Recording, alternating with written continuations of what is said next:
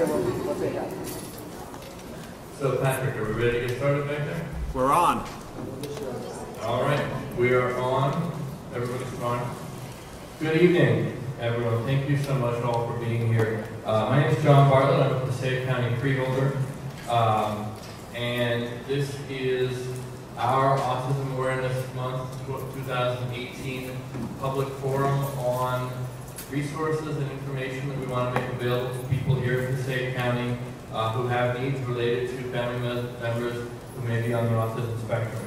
This is something that I've been working on since I became freeholder six years ago. We've done a series of forums over the years. We've been able to work together with some great uh, community activists and leaders who you're going to meet tonight. We've been able to partner with the state, with law enforcement, in a whole bunch of different ways to make uh, not only this information available, but to make sure that the services that are available are getting to young people that need it. And when I say young people, you know, we're accustomed to talking about autism in the context of education, but to a greater and greater extent, we're now talking about it in the context of uh, young adults and of issues related to vocation and housing and health and independence and transportation.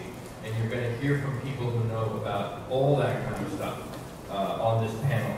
Uh, my role here is simply to facilitate, uh, as I've always believed, one of my most important roles as a freeholder is to make sure that people know the resources that are available and know where to go when they need a particular service and simply know that the service exists. So I'm here to moderate, I'm here to give you the opportunity to hear from these folks. For all of you who are watching us uh, online later, thanks for being part of this. We're going to try and get some links and other information there on the Passaic County YouTube channel, along with all this once we get it posted. And I just told Patrick that, so he's looking at me like, really? But uh, let me begin uh, by introducing our panel of experts. Our Passaic County Sheriff, Richard Berdnik, is going to join us in a couple of minutes. Um, in the meantime, I'm going to introduce everybody and then uh, go to each of you in turn and, and have us hear from each of you for about eight to ten minutes. The Passaic County Human Services Department can help families gain access to numerous programs and resources. Jenny Fletcher is the Director of Children's Behavioral Health Programs, and she's going to tell us about these programs and how to take advantage of their benefits and where to access them here in Passaic County. The state of New Jersey also provides employment assistance to Passaic County residents with autism and other special needs through the Division of Vocational Rehabilitation Services, or DVRS. This agency provides career counseling, training opportunities, and placement services. We're privileged to be joined by a representative of the State Department of Labor DVRS office, and I'm grateful to uh, the Commissioner of Labor for making it possible, and to Kathy Morrow, who is here as a vocational rehabilitation counselor and pre-employment transition counselor located in an office right here in Passaic County in Paterson. Also in that vocation and employment space, we're going to hear from Beth Marmolejos, uh, who those of you who are in the autism community, her name is certainly very, very familiar to you. She's an incredibly effective advocate. Most important at this time from the standpoint of this panel, uh, she is a member of our Workforce Investment Board in Passaic County, and specifically she is the chairwoman of the Disability Committee of the Workforce Investment Board, or WIB. So we're going to hear from uh, her about the various employment-related services that come to you through WIB. Next, we're going to hear from another uh, both incredibly accomplished and effective advocate as a parent, but also someone who has literally uh, earned her PhD uh, in issues related to autism and specifically issues related to transportation. Young adults, if we're talking about getting the job, we're also talking about getting them to work, and we're going to hear from Dr. Cecilia Feeley on that topic. We're going to hear from a whole bunch of terrific people from our Passaic County Sheriff's Office. Uh, of course, Passaic County Sheriff Richard Berdnik will be with us. Alberto Cuadrado is here on behalf of the Community Policing Office to talk about some of the ways in which the Sheriff's Office helps make sure the people on the spectrum can be safe uh, in their homes and in their communities. And and uh, we're also joined by by Detective Corporal Herbert Kirchman, uh, who also has a great deal of involvement with the State County uh, Sheriff's Office services as it relates to people in the community with disabilities. So we're going to hear from both of them and the sheriff. But first, let's start back in Passaic County. And Jenny, uh, there's your microphone. Tell us what you're going to share.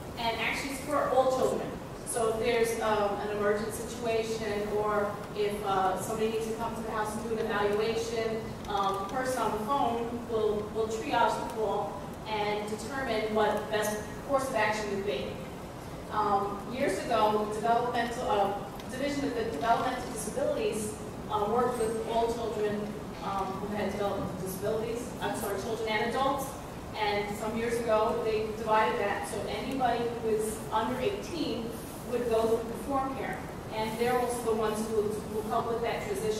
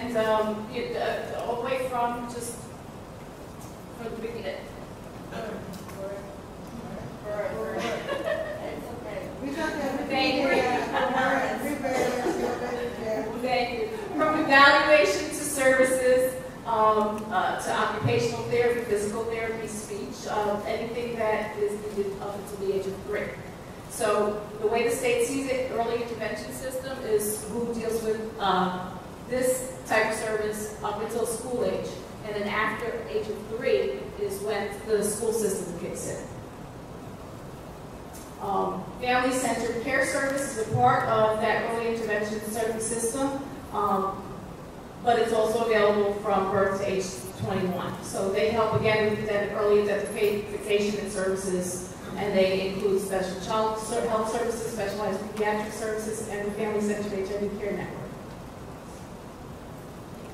Uh, again, we, talk, we talked about Passaic County schools after the age of three. Um, and I know kids don't usually go to school till five, but it's, it's just, it's one of those things where um, uh, from preschool um, till, till 18 to 21.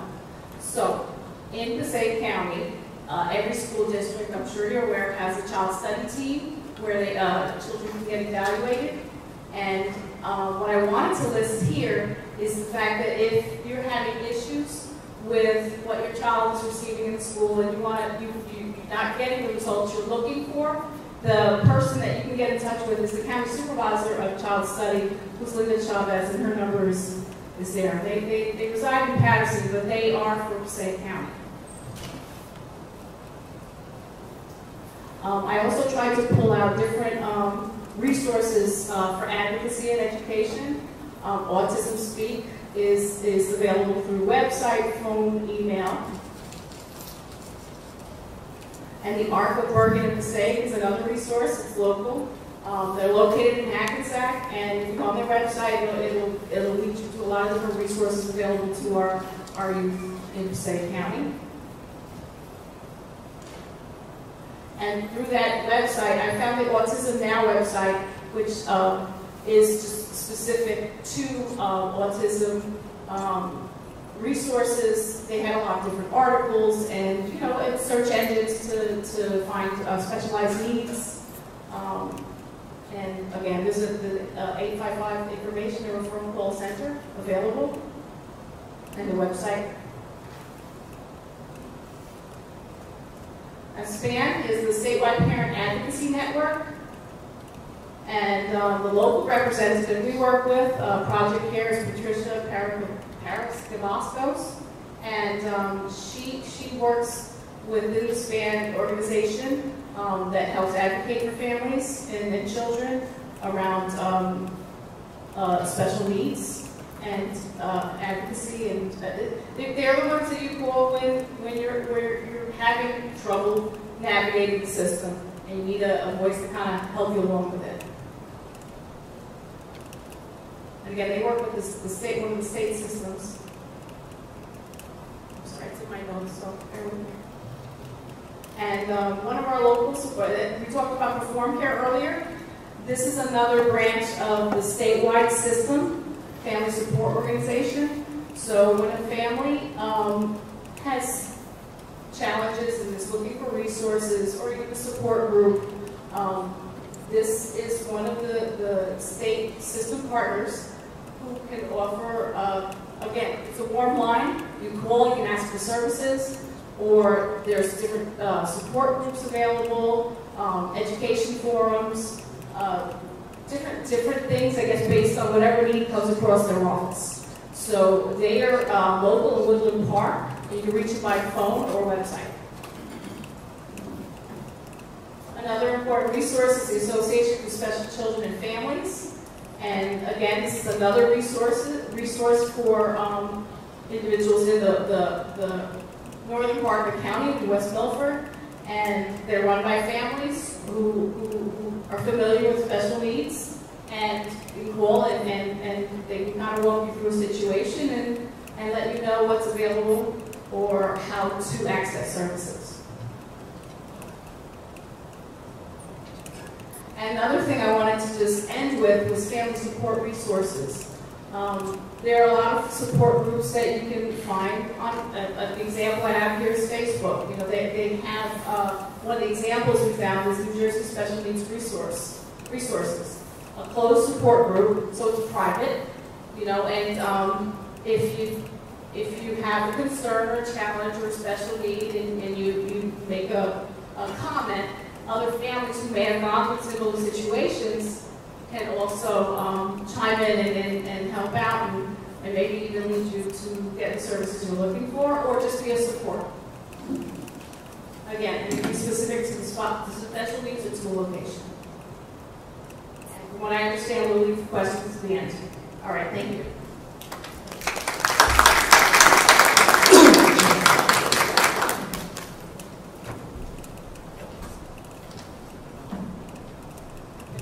Jenny, thank you so much. That was great. And I especially appreciate, and I'm sure everyone else did, the fact that you had the websites and the phone numbers and the email addresses up there. And I actually saw a bunch of people taking pictures of your slides, uh, which is great. Just so everyone knows, this will be up on our YouTube channel uh, in a couple of days. I also wanted to mention, you talked about the Association for Special Children and Families. I want to acknowledge Angela, who's here from the association. I'm sorry, Julie. Uh, Angela's the name right now here, but Julie was here from the association uh, and has information about that as well. I also need to apologize. I was so focused on the list in front of me that I neglected to introduce one of our panelists. Adding cleanup today is Councilwoman Eileen Rivera from right here in Wayne, uh, who is another incredibly effective advocate, someone who has literally gone to Trenton and gotten a law passed uh, when it comes to the safety of young adults who are in care facilities here in Stanton, New Jersey. Uh, I apologize for that oversight, Wendy. Uh, I, I have you batting cleanup on this panel you're going to have a great bunch of questions for the other panelists to start us off on our Q&A. While I'm doing uh, mea culpas, let me add also a thank you to my colleagues on the Passaic County Board of Chosen Freeholders uh, and to everyone involved with Passaic County Community College and particularly here at our Public Safety Academy. Uh, Carl Padula, who runs our facility here, at the back. Thank you so much. Uh, We have, uh, for after the program, we have cake and coffee and some other refreshments in the cafeteria, which is out the door left and then right. Uh, If anyone here is feeling, uh, you know, that it's crowded or feeling that it's loud and wants to go ahead to the cafeteria, uh, in the meantime, certainly feel free to do that, but everyone should definitely stick around for, uh, uh, for those refreshments. What I want to do now is move over into that vocation space and uh, sort of actually hand it off to both of you at once and, and reintroduce you again and then sort of let you each talk and even talk amongst yourselves. So we can talk about that. And that is um, Kathy Maurer from DVRS, the State of New Jersey Division of Vocational Rehabilitation Services. Uh, uh, the office located right in Paterson here in Passaic County. Uh, and Beth Marmolejos from the Workforce Investment Board, uh, uh, Workforce Investment Board Disabilities Committee. So, young adults with autism, vocation, um, go. Okay, I'm Kathy Maurer. I'm a counselor for Division of Vocational Rehabilitation Services, as Mr. Bartlett mentioned. We're part of the Department of Labor, and we're the part that assists individuals who have disabilities figure out where they fit in the job market, and then we try to help them get there. We work with individuals who have physical conditions, psychiatric conditions, learning disabilities, and also individuals who have a history of substance abuse, alcohol abuse. What we do is we take a look at the person's abilities. In order to do that, we first have to look at their weaknesses so we don't go in those directions. We'll sit down with someone and say, look, what do you think you want to do? And then we try to help them come up with a game plan to possibly do it so they may be able to go to work. As you know, many people on the autistic spectrum could potentially go to work, but they might need extra supports, and that's where our agency could come in. We can sometimes assist with job coaching. There are a lot of different things they might potentially be able to tap into depending on what is needed and what they are eligible for. Okay, we do have eligibility criteria, one of which is we have to have documented, uh, documentation of a disability. I've had individuals who had, I actually had an individual with autism uh, a couple of years ago who was insisting he wanted to go to college. He was reading on a first grade level. And it didn't look like college was, it, was the direction to go in. And he kept insisting on this, but he, was, he told me he absolutely loved doing landscaping. His whole issue was that all of his siblings had gone to college. He thought his parents expected this because of the communication barrier. When we sat down with the family, because he asked that the family be included, and the family found out that he really loves landscaping and he kept insisting on college, the family explained to him, we didn't expect you to go to college, we know what you're good at. You know, so one thing you can do with your adult children is, what are they good at? Are they going to need supervision all the time, every second of every day?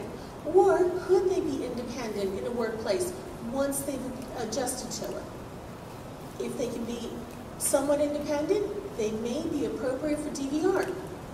If they're going to need supervision constantly every second of every day, that's a different agency. But we would be able to tell you, look, you know, it just doesn't look like it's going to work out. And then they could always revisit us if something happened, if they went to a day program for a while and they decided they were able to learn some independent skills, they could certainly come back. We're not a one-shot deal. People can come back when they're ready. One thing I encourage any parent in the room who has an autistic child to do, talk to them about what is their plan once they finish high school and the parties end. Do you think you want to go to school more? If so, for what? Do you think you want to go to work? If so, doing what? If their friends who are the same age realm are all filling out job applications and looking for their first job, why shouldn't your child be doing this? Unless they're unable to. And if they're unable to, there are supports that can help them with that. You know, I encourage you, if you have someone with autism in your family that might be able to go to work, contact DVR.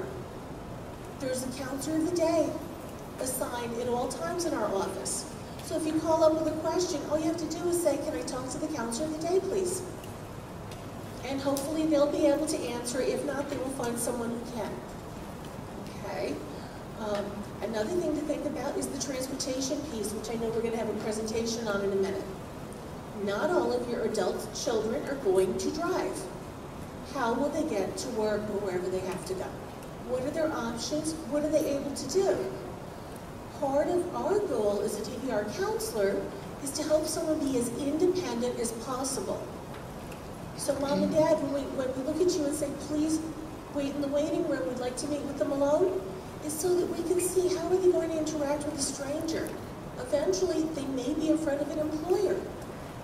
You know, when we tell the individual, call me such and such a day, we're assessing, will they eventually be able to call an employer? There's nothing worse than having your mom make the phone call to your employer when you're a young adult. Okay? It, it, it doesn't teach them the independence. Plus, in the meantime, you get to see what a good job you did teaching them these skills without realizing it. Um, trying to think. Like I said, there are lots of services we can provide. A large part of our job is the counseling and guidance portion. Sitting down with them, maybe doing a quick labor market research, see if what they think they want to become, if there are there jobs in that. Does it look like they meet the criteria? Do we need to do an evaluation to get more information? Do we have enough information from what the schools gave us? Because a lot of the schools do a lot of testing, and it's really good testing. So we try to use that. We don't want to force someone to just be tested endlessly for no reason. We want them to be able to move on to whatever their next step is in life. So that's basically what DVR does. I did put brochures on the desk over the corner. You're welcome to take them. Our address is on the back. We're actually located at 200 Memorial Drive in Paterson. We're in that one-stop building. And we're also lucky enough, we have two bilingual counselors who speak English and Spanish fluently. We also have a deaf language specialist who signs fluently. So we try to service as many people as possible. And we don't only work with students. We work with people basically from the time they're approaching graduation until they retire. If someone has a disability, and even in your household, and thinks they might want to go to work, have them check it out. Maybe they can. Maybe they can, but maybe they can.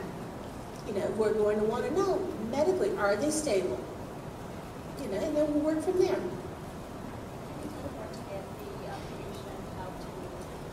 Well, you can actually get the application online, but if you want to get, hmm, I'm trying to think what the website is. I never use it. I've never I think if you, if, I, if you do DVRS, I think on the DVRS, in there, Yes. there's, there's links, and even the state DVRS, you can browse into the form, and then you And, and if not, when you speak with the counselor of the day, all you have to do is say, I'd like to do a referral form.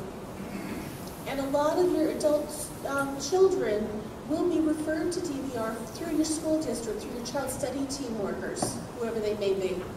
Because they know it's likely they're going to need additional supports when they go out into the world of work. They're not, unfortunately, they're not going to wake up one morning and everything's good. You know, everything will be good, but it's not going to be the way that they want it to be. Thank you. All right, thank you. Um, welcome, everyone. Uh, my name is Beth Marmolejos, and I am the chair of, I, I, I know John referred to the Passaic County Disability Committee, but we changed that name, It's the Advocacy and Ability Committee, because we want to make sure that we change the, those, those words of, you know, disabled. Our kids are able differently. Um, so, so that's kind of the one thing. Um, I've been in this role for, you know, perhaps five, six years, and my journey started as the president of the Wayne Special Parents Association, and Cecilia Feeley, Dr. Cecilia Feeley, used to be my co-chair. So um, I think that the, the moral of the story is that you parents own the future, and not just the future of your child, but the future of every child that has a, a you know special needs. And when uh, you see that there is a program that doesn't exist, um, it is up to us to, you know, make sure that that program uh, opens up in the area that, that you live. For example, we work on creating a, a special needs, uh, Special Olympic swim team at the Passaic County uh, Tech. And we went to uh, John Bartlett, freeholder John Bartlett, and the other freeholders, and they made this the, the pool available for us. And the program was different. We uh, taught the kids, and still continues to be, how to swim the first hour, for, because as you know, um, you know, drowning is the number one cause of death for our children because they're attracted. So we, we teach the children to swim the first hour, and then for if they want to go on to the team, they could go to the team.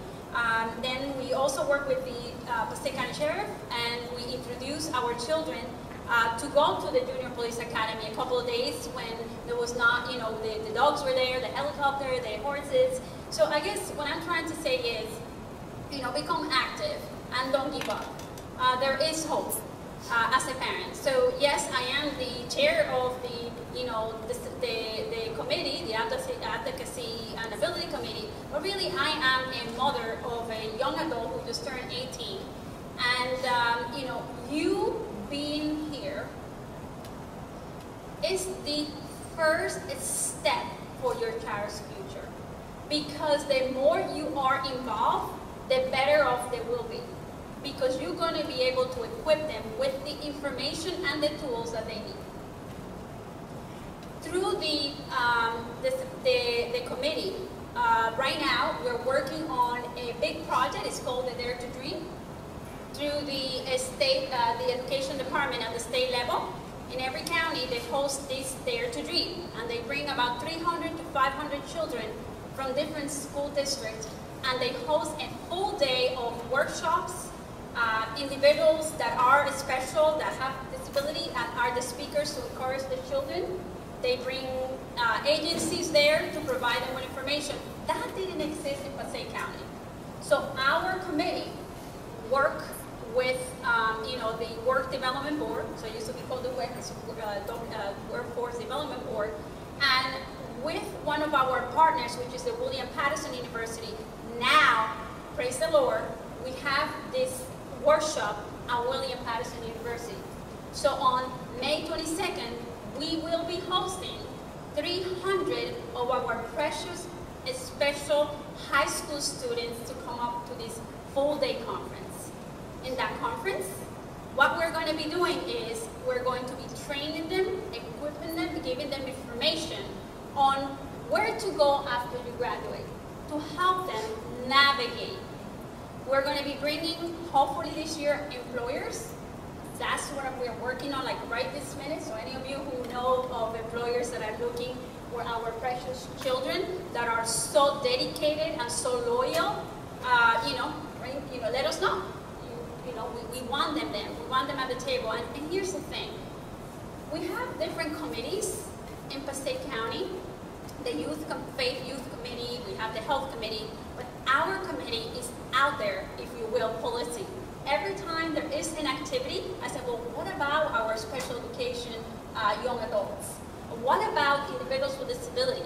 Do you have a table for them? So every job fair now has a table where members of our committee sit and, and we created a pamphlet for the employers that provide them with information to the advantages of hiring an individual with disability.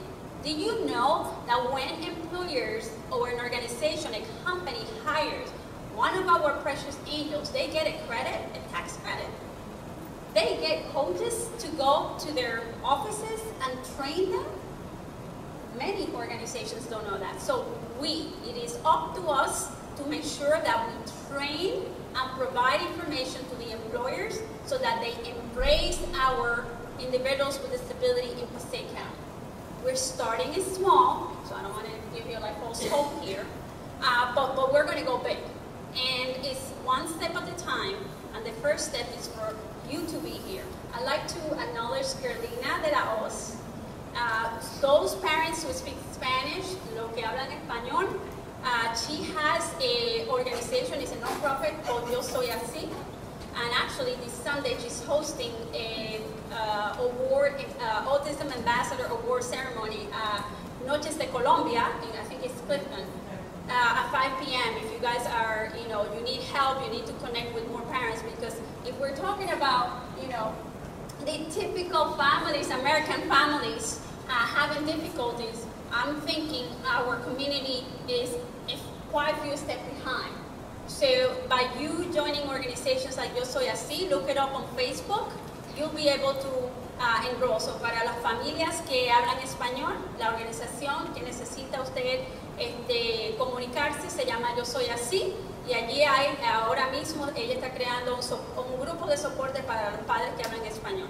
So I am happy that you are literally utilizing Facebook. And let me tell you, what people don't realize and what I just kind of make our committee aware, the development board, so this is like the board for employment, when they host this job fair, let me tell you something, our families are not going. Our children can't even get there. Which is why I'm kind of fighting or you know working on bringing the employers to the Dream. So many of the things that you do, sometimes you don't get that attendance. It's not because they're not interested.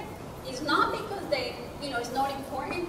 Sometimes, and, and this is a true story, when we opened up the um, uh, sports clinic in Wayne, you know, it was on a Saturday. We literally worked with the district, we worked with the uh, Parents Association, and we created the sports clinic that our children, it was, it was really customized for our children. And parents weren't going there. I'm like, well, why is that? And one of the mothers came up to me and said, Beth, I'm so tired. By the time I get home or, or Saturday comes, I don't have the energy to get there. I don't have someone to take care of my other child that also has a disability. So attendance is not a good measure of success for our community. Broadcasting is a perfect method of getting to them, and I truly, uh, Freeholder Bartlett, uh, commend you for, for, for doing that, because this is going to get the information out there. And by the way, you know, Freeholder Bartlett is, is been a champion, and he's authentic. Uh, he's not there for the votes. I, am telling you that because of all the things that I just mentioned to you with the, you know, swim team, and many other programs that, that he has helped us in, including Yo Soy Uh, he's always present, and also uh, for um, whole uh, um, what is it called, his organization? Autism Radio, he's always present. So it's something that is dear to him. and all the people that are here, every one of us, you know, we're here to provide you the information.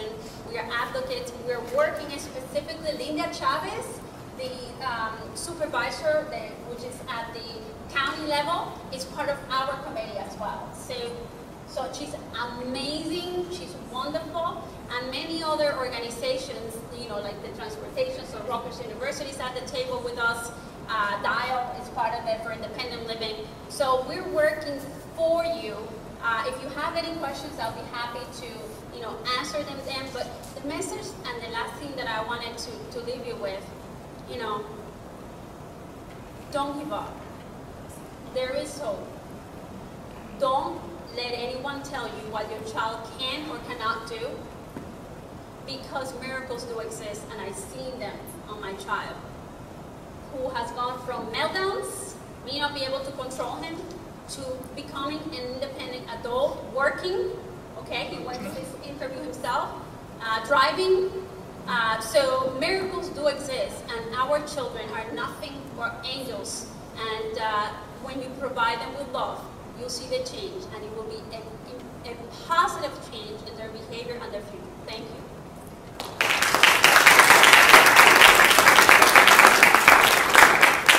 Thank you very much, first of all, for saying that. Um, but I'm so glad that you took a moment there to speak in Spanish. I'm so glad to have Carolina here from uh, see, and to know from you, Kathy, that you've got two bilingual staff there. Because certainly in a county like the Sayre County, where about 30% of our residents are Latin uh, it's essential for that information to be available uh, in all kinds of languages. So we're going to turn a corner here and talk a little bit about transportation. That wasn't meant to be a pun, but it worked out really well.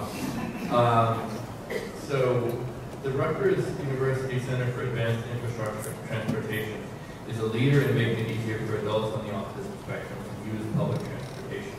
And that's one of the real challenges. And I'm sure any of you who are out there in the workplace know 90% of jobs in New Jersey require a job require a car to. Um, and even for those that don't, the dilemmas of using public transportation, of using even uh, uniquely dedicated transportation like our Passaic County Paratransit program uh, are challenges for people who are on the spectrum. Uh, and Cecilia Feeley has made that her life's work and her study and has earned a doctorate degree uh, from Rutgers working specifically on this issue of transportation uh, for young adults on the autism spectrum. She is the Transportation Autism Project Manager at that Rutgers University Center that I spoke of. And Cecilia, talk to us.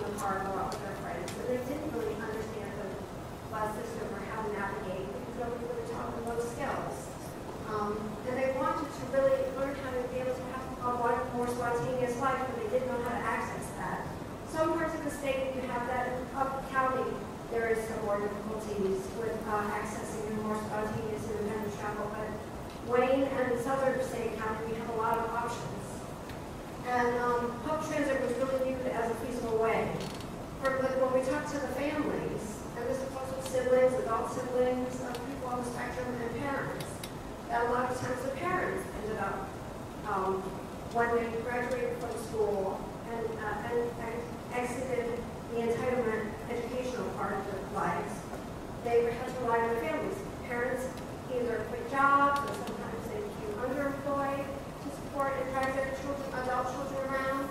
Um, they accepted that as just the new reality of their lives, just like when that first diagnosis is given to us and our lives are kind of up and changed and we say, okay, well now I a new journey for the rest of my life. Once a lot of the times the, young- the young adults graduated school or exited the school system, their whole lives were also thrown in turmoil again. And that they really weren't prepared for that in the IEPs. The IEPs didn't really address the travel training.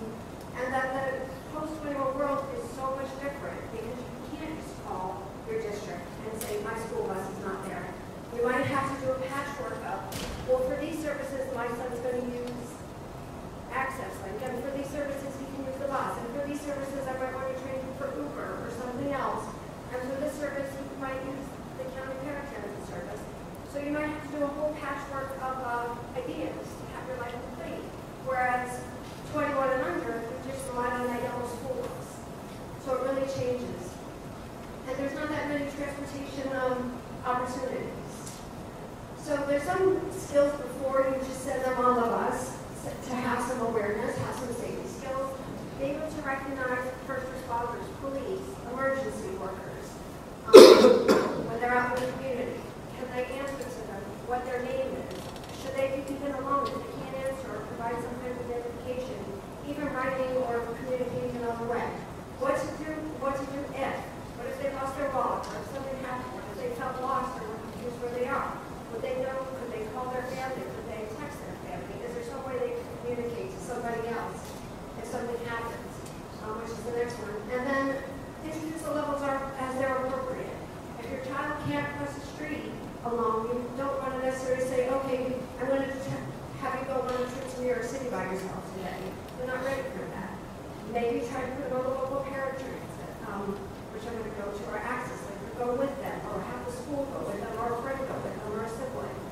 And then use, there's a lot of technology out there, you can use that. You, uh, my son, I'll often, he's 19, I'm going to come on the bus, but I'll have to find my phone on so I can track where he is and when he's going to get home. Um, so there's other things you can do. There's kids that can't have a phone, uh, Verizon have a watch that we know some families, um, or that have a GPS tracker, but they would do that with their son. So there's a lot of different technologies people can use that's out there. Um, so we have a lot of different options throughout the county. People can walk, you can walk to your drive, use a local bus, use an interstate bus, uh, use paratransit, county services, use Access Link.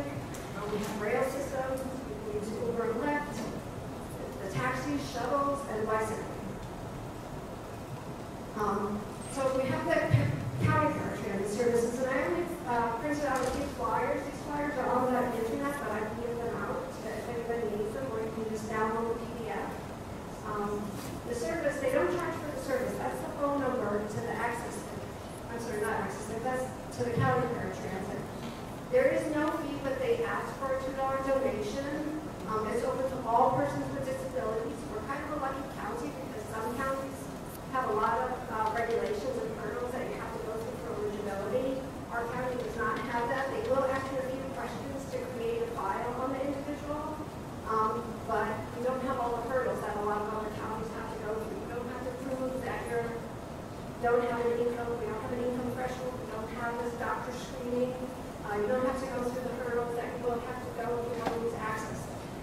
Um, we do have an easy ride shuttle if you want to get to employment uh, in Essex County and um, Fairfield and different Essex County industrial parks from EZ Ride. And EZ Ride is also doing an innovative um, where there for people that might not want to have their own Uber Lyft. They have a special Uber Lyft system for people with disabilities um, that I can tell you more about or give you some information on after this section.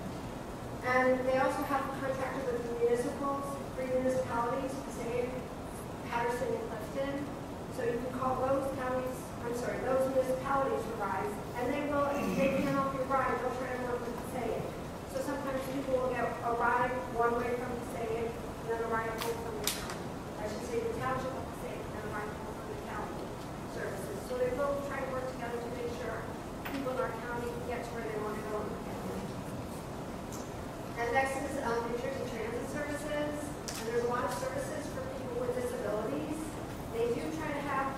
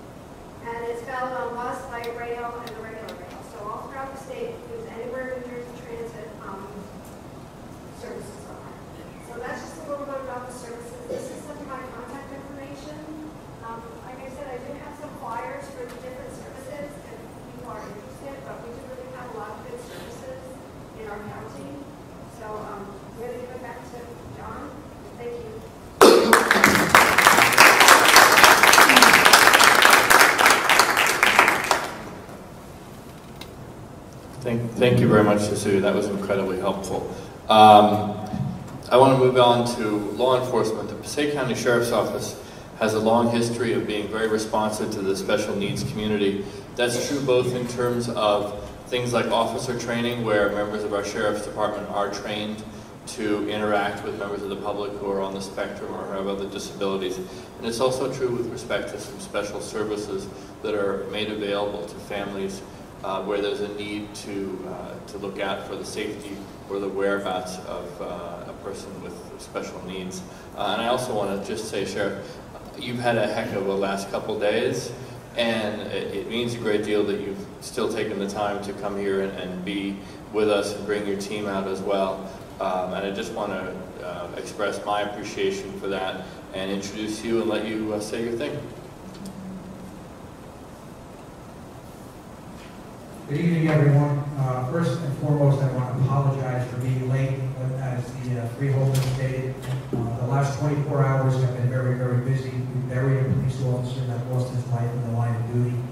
We had a uh, search and rescue mission that turned into a recovery uh, in our town. And uh, just a few minutes ago, a brand-new police chief in the city of Paterson uh, that was promoted. So I just want to start out first and foremost by thanking Freeholder Bartlett for hosting this, and also I want to thank the committee. Uh, Again, the Sheriff's Department is very committed and has been very committed for some time. Uh, We have done multiple projects in the community, and today, we're going to speak about uh, our Project Lifesaver Initiative. And this is something that uh, has been in existence, however, uh, we took it to another level, and you're going to hear about how that works very, very shortly. Um, We went from the Stone Ages to NASA this device that we're going to introduce today. So I'm very proud to introduce who I have with me today is Director Quadrado. Um, He will introduce our community police officer, Herbie Kriesman, and uh, tell you a little bit about what we have to offer in the Sheriff's Department and the direction and the level that we're taking to assist the community. And I just want to tell you one other thing. This was not done just by the Sheriff's Office. Again, with Freeholder Bartlett, all the freeholders, members of our community working together, we have a 190, 198 total bracelets, uh, probably the record number the state of New Jersey. And that's working together and getting this done. So you'll hear about exactly what that entails, and I think uh, it's very, very important that you spread the word. It's going to be unfortunate only that number until, of course, uh, we're able to replenish but you're going to see really how great a device this is, and again, how proud I am of the officers that are running that program. Thank you. Thank you, sir. Just want to let you know that the sheriff is committed to the community. He's, he's with this program 100%, and I just want to give him a round of applause for that. Uh, Project Lifesaver was uh, started in 1999. It's a non-profit organization, and the, the uh, it started in, in Virginia. And we have a presentation today that we're gonna show you, and we're gonna explain the, pro the program. Uh, uh, back in those days, it, we had the RF program, which it was a roaming device, that it was harder for us to find a person that was lost. But now we have a new device, which is uh, digital and it's GPS. We're going to explain that to you. I'm going to have uh, Herbert Christian, Detective Christian, to uh, start the slideshow and we're going to have the presentation so you guys can understand the program and how it works.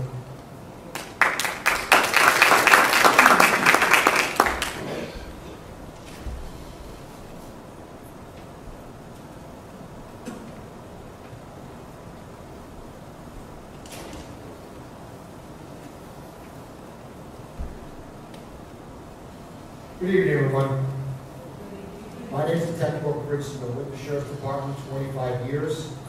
Uh, and I'm currently assigned to community policing. I will tell you, of all the programs, this is one of the programs that I'm most proud of that we're doing here, because it's going to benefit many of the residents of Passaic County.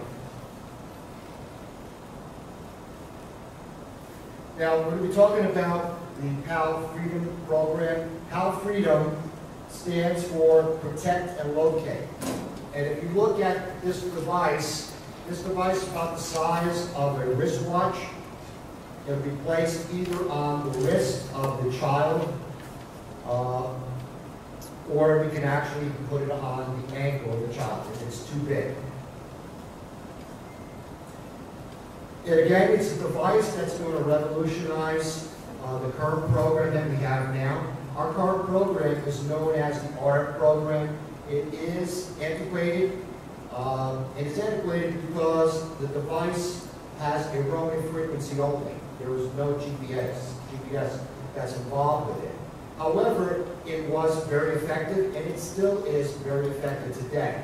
Because we have a special device that we use, we're able to locate the individual utilizing a six-digit frequency, a number that's given to them personally, and it's on the device, so if they go missing, we're able to locate them. What you're looking here now is the PAL Freedom device. It is basically, it comes with a receiver, it has a base station, basically, which is used for charging the device. It's no longer, it, it's actually giving caregivers a little more accountability and a little bit more responsibility in order to help their loved ones.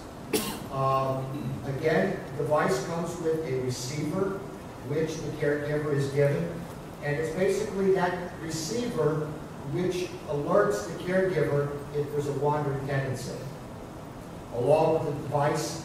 And what's great about this, it is GPS as well as RF frequency. So basically, an any smart device, if there's a tablet involved, if you have a PC, you'll be able to find your loved one utilizing this device. And all you need to do is go on to the portal that uh, is provided with the device. We at the Sheriff's Office, we register the device and we activate the device. So the only thing that has to be done is that the caregiver has to register it with their email as well as the telephone number, their cell number, and good as gold. We're ready to go at any time.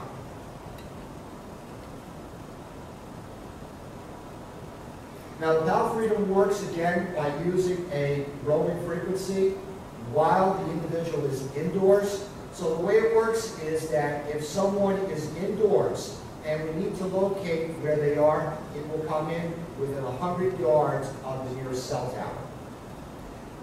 And again, that's going to communicate that by a, position data as well as the caregiver with the receiver device is able to set the basically a geofence or a GPS area, a range of where they want their loved one to be. It could be a low frequency to a medium frequency as well as a high frequency.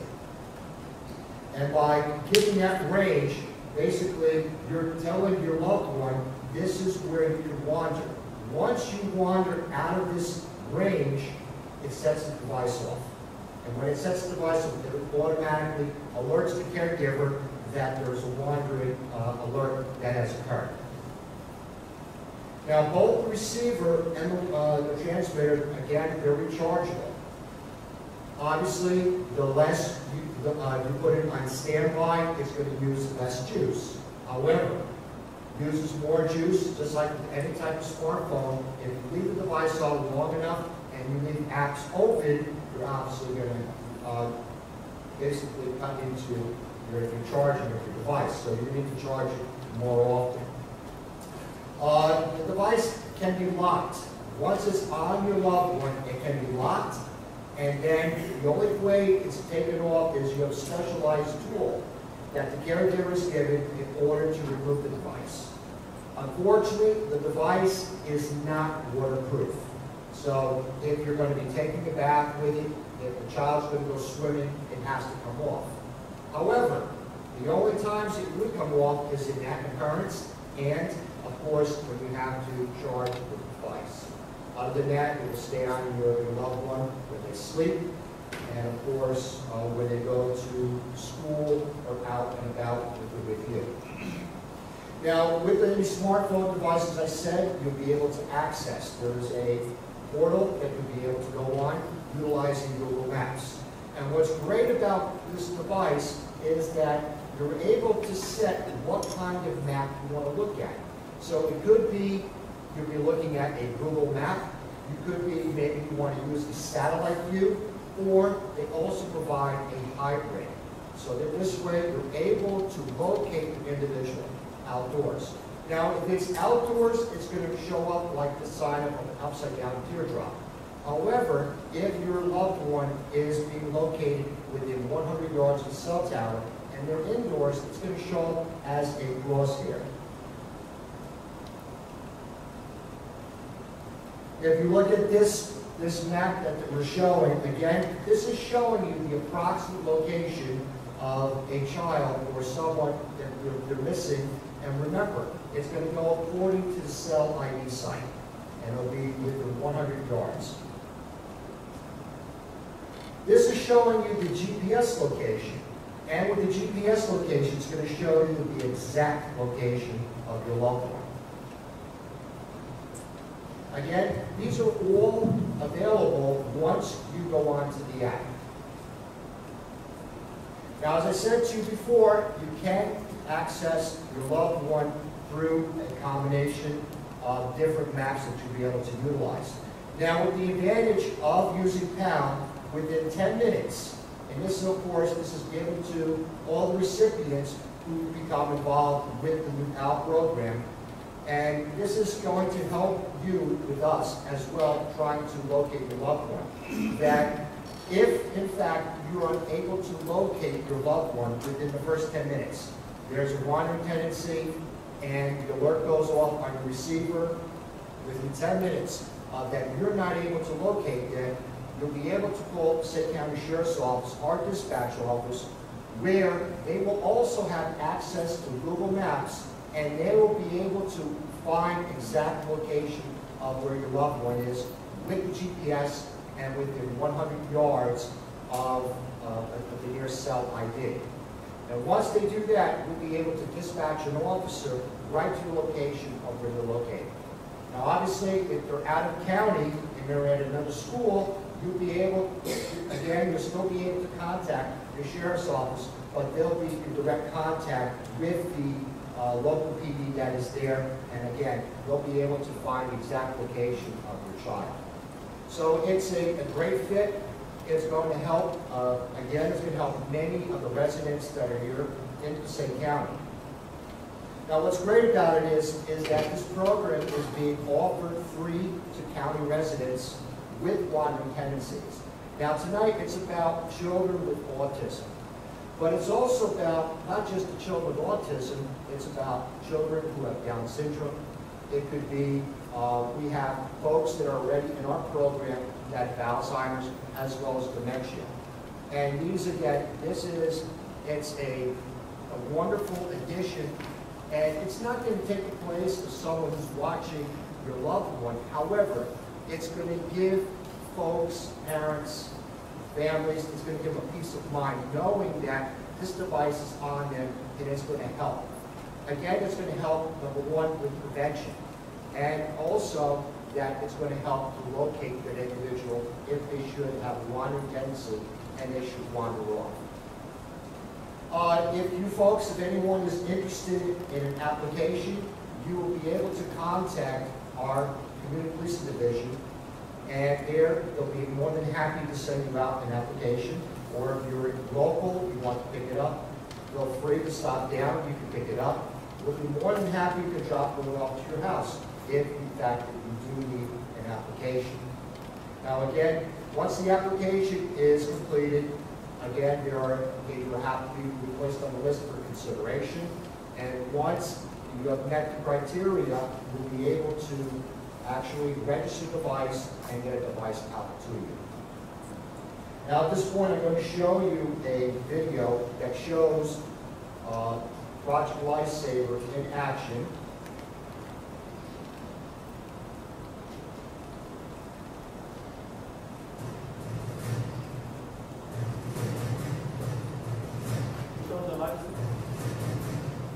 Bobby Morrissey was established for Trump. And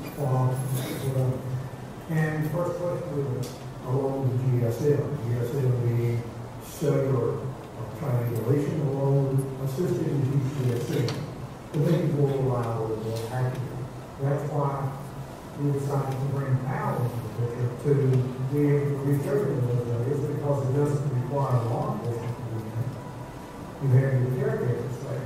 They and then protect their loved What really intrigued about the system was it also uses modern technology. And that is, a person or individual caregiver can set up a perimeter. The person is wearing the bracelet that looks and functions as a watch.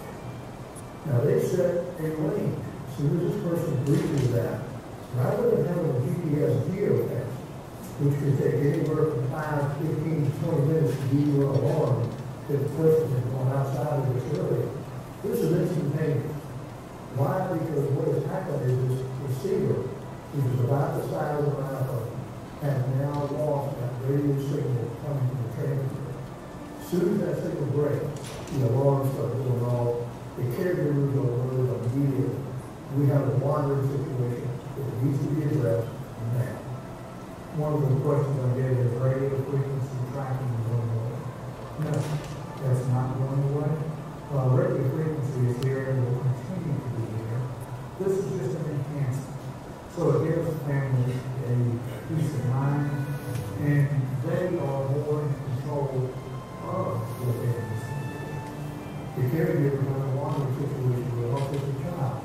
But they're also caring for three or four other children in the house and cannot leave the house for fear of leaving the children alone. Now they can notify the sheriff, the police, or whoever, or if the sheriff or police are tuned into that, they already know there's a situation, and they can respond to it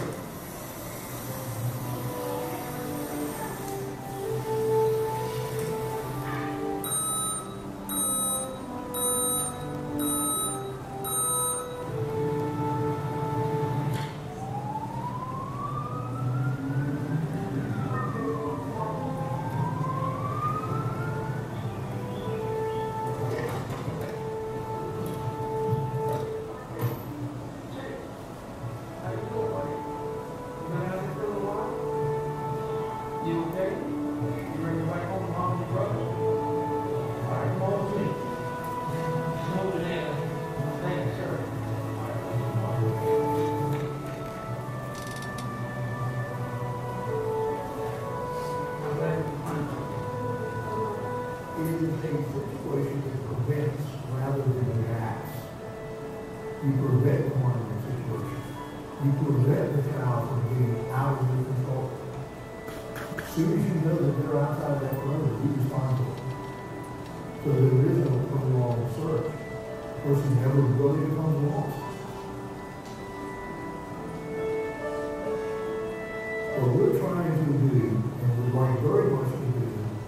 Is to achieve a goal of being able to supply five thousand regions for a year's service at no charge to these parents, giving them some peace of mind and some control over the situation. But we can't do it with the limited financing that we have. We've got to appeal to the public and the people that will help us by donating and allowing us to use those funds to provide these devices and this service. Let's face it, children die every day from wandering into the office, and there's no reason. And we need the help of people that are waiting to enable us to help prevent that from happening.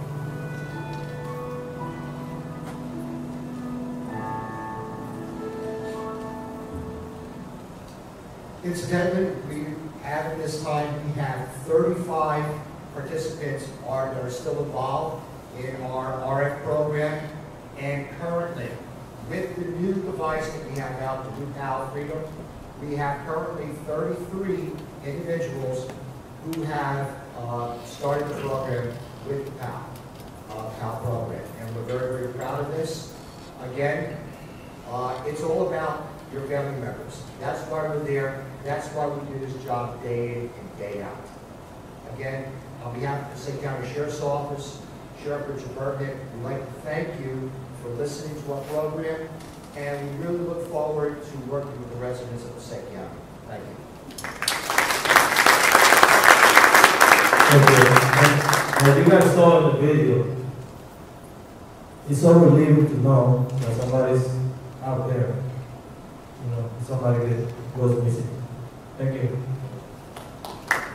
Very excited. Very- Thank you guys for very much. Um, so, rounding out our panel this evening uh, is Councilwoman Eileen Rivera, who represents the Fifth Ward right here in Wayne. Eileen is a parent and is one of three people who was able to get the Thomas Komninos Law passed in Trenton uh, and signed into law. Uh, that law protects people with developmental disabilities from abuse. And that was an incredibly important issue for Eileen for reasons that she's going to explain to you. She's an incredibly effective advocate uh, with a strength and determination that really made a major difference with this accomplishment and is making a major difference in a lot of different ways. Um, so Eileen, uh, without further ado, we want to hear uh, about the Komninos Law, but really about uh, everything you've learned through this process about being an effective and forceful parent advocate uh, for young adults in the spectrum.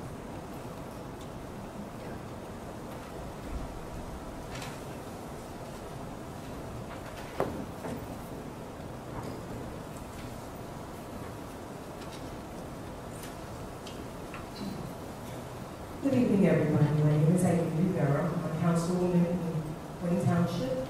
I'm also an advocate and a mom.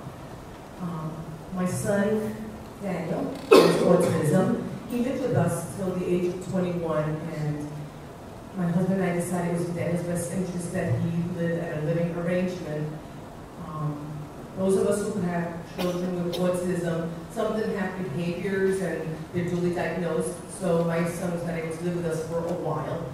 Um, so when he moved from our home, he was he lived in three different arrangements, living arrangements. One was a group home. He was hurt and abused there. And he lived at a developmental center. He was hurt and we have beyond recognition there. Then at a supervised apartment, and um, he was smacked by a caregiver, and um, just got to a point that I said, you know, we can't keep on like this because at the rate we were going, my son was going to be handed to me in a body bag. Um, and that's the biggest fear of every parent, of having your child. Your child, you know, your child has autism or developmental disabilities, they're vulnerable.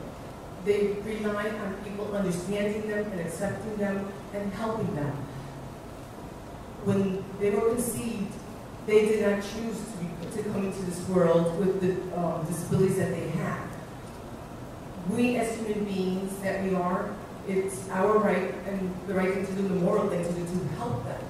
Um, they rely on us. So when my son was beat up beyond recognition, um, there was a lot of cover-ups and a big conspiracy, so I went to the police department. They couldn't help me because they said that, the center we was at, they police themselves. So at that point, what I did was, um, I have a friend, Martha Crane. Um, I that her son died at a group home two months before the with News Law became law. Um, we started advocating. I went um, at one point to uh, Trenton, and there was the terrible Leary law. And I love reading, and words mean a lot. As a parent, I tell you, I, I advise read everything. Don't be scared to ask questions. And certain words may mean, to the quick eye, may mean, mean one thing, but it mean it's but in the law it means something else. So when I started reading the Tara O'Leary law, I realized, oh my gosh, this is going to be a problem because that law protects people that are in foster homes, which is only like maybe 2% of this population. What about the remaining 98%? So I went before the legislators in Trenton, um, asking them at that point for them to please consider only 10 words, that's all I wanted.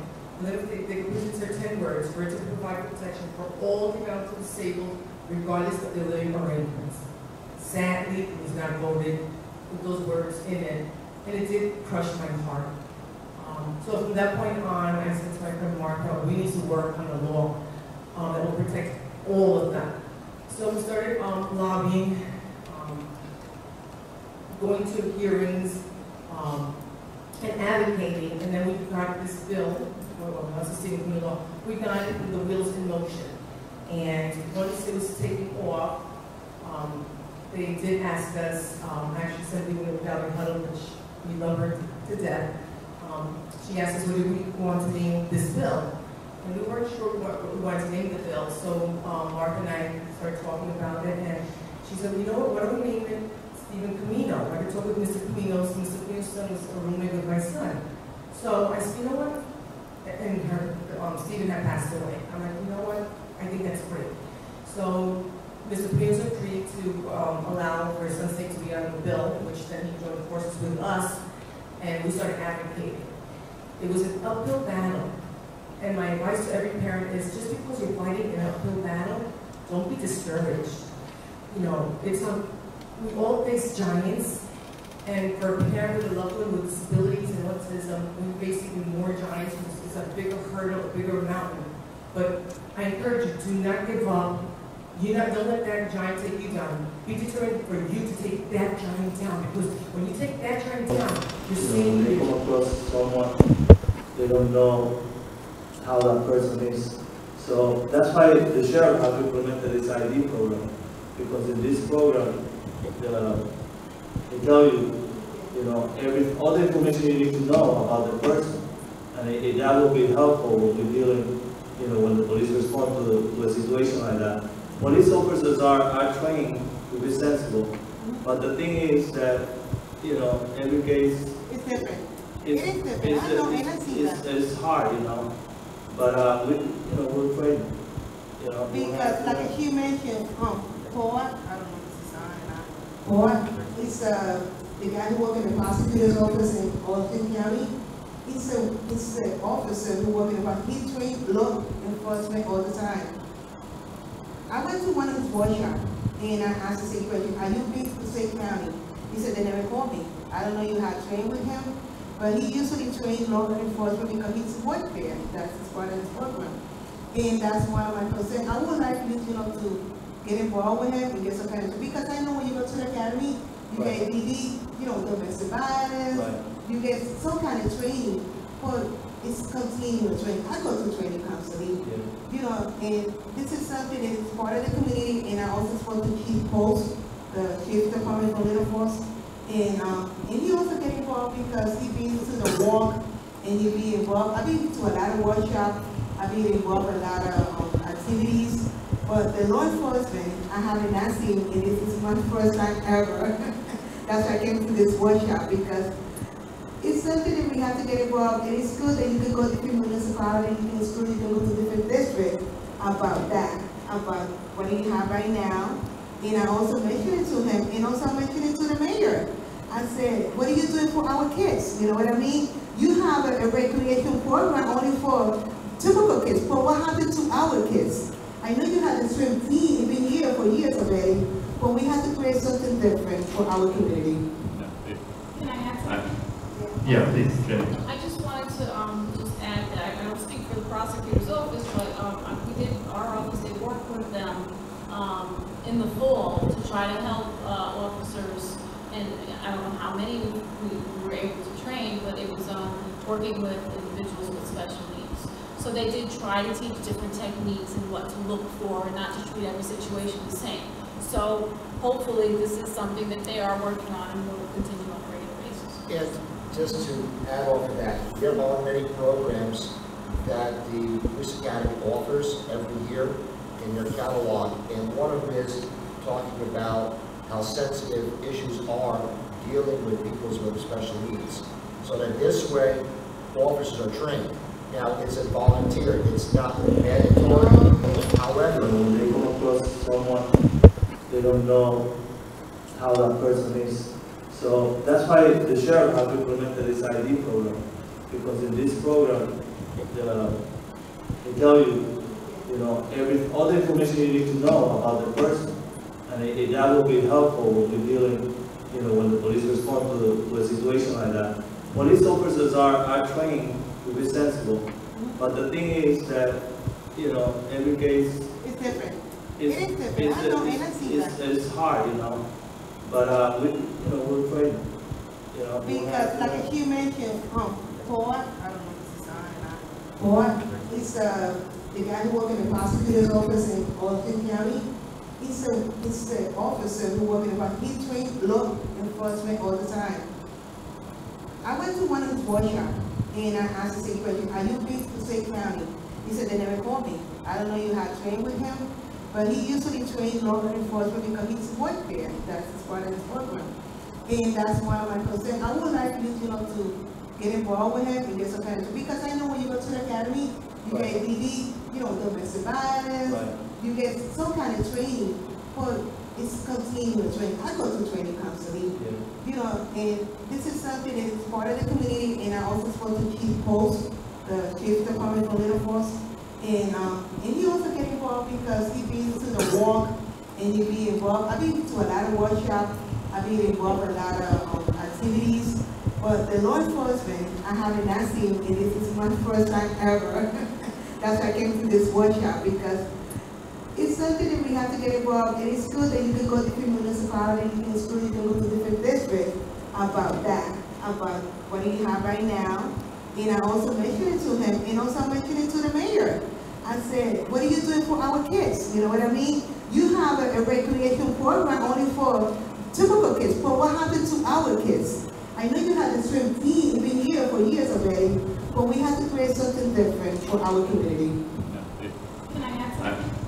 Yeah, please, Jim. I just wanted to, um, just add that, I don't speak for the prosecutor's office, but, um, we did, our office, they worked with them, um, in the fall to try to help, uh, officers, and I don't know how many we, we were able to train, but it was, um, working with individuals with special needs. So they did try to teach different techniques and what to look for, and not to treat every situation the same. So hopefully, this is something that they are working on and will continue on a regular basis. And just to add on to that, there are many programs that the police academy offers every year in your catalog, and one of is talking about how sensitive issues are dealing with people with special needs. So that this way, officers are trained. Now, it's a volunteer, it's not mandatory, however, This panel has come such a, things in the autism community have come such a long way from where we started with nothing. Um, so many wonderful programs, and Mr. Bartlett, thank you very much. We received, um, a grant from the county to run program support groups to let you know that you're not alone. We do have bilingual parent consultants on staff, so we can meet with you for many different kinds of issues that are related to special ed. But the big thing is, is that there's been such a difference, and I've been doing this for a long time. And it's wonderful to see such a great panel, support from the county, from the sheriff's department for something that didn't exist years ago. And just to tout our horn a little bit, the Association for Special Children has been around for 40 years. We are on the web. Um, unfortunately, Jenny's information was a little off. We've, we've moved, but we're in Hewitt, so we're in the Up County, excuse me, the Up County area. So we do serve all of Passaic County. You can give us a call. We're more than happy to speak with you, review IEPs, we do trainings. So we're here and keep up the good work. One other thing I'd like to bring up that most of the public might not be aware of is that I understand that Governor Christie signed a law into effect that there's no restraint and seclusion in the schools. And it's really important that you look it up because here, Ms. Rivera, you've come so long at the adult end, which is where I am at. But now the state of New Jersey has no restraint, seclusion, or aversives in any kind of a law, and that might be the next step that you need to work towards, is that children are not restrained, secluded inappropriately. So um, I did find a law online through the state of New Jersey, and it's something that needs to be addressed. So uh, thank you for keeping, for keeping our kids safe. I know that the Passaic County Sheriff's Department has come up to West Milford, um, has presented their programs. We are developing children's programs. We'd like to bring it back up again. We're a little small right now. We're a little understaffed, but we're always developing new and exciting things. So thank you. Thank you, panel. Thank you very much. I want to thank Marcia Diljak, my aide, who did so much incredible work pull all this together. I want to thank staff here at the Passaic County Public Safety Academy, and thank all of you for coming. And before we adjourn, left then right for cake and coffee and hopefully decaf. Um, please join me one more time in thanking our wonderful panel. Thank you, Lisa. John, you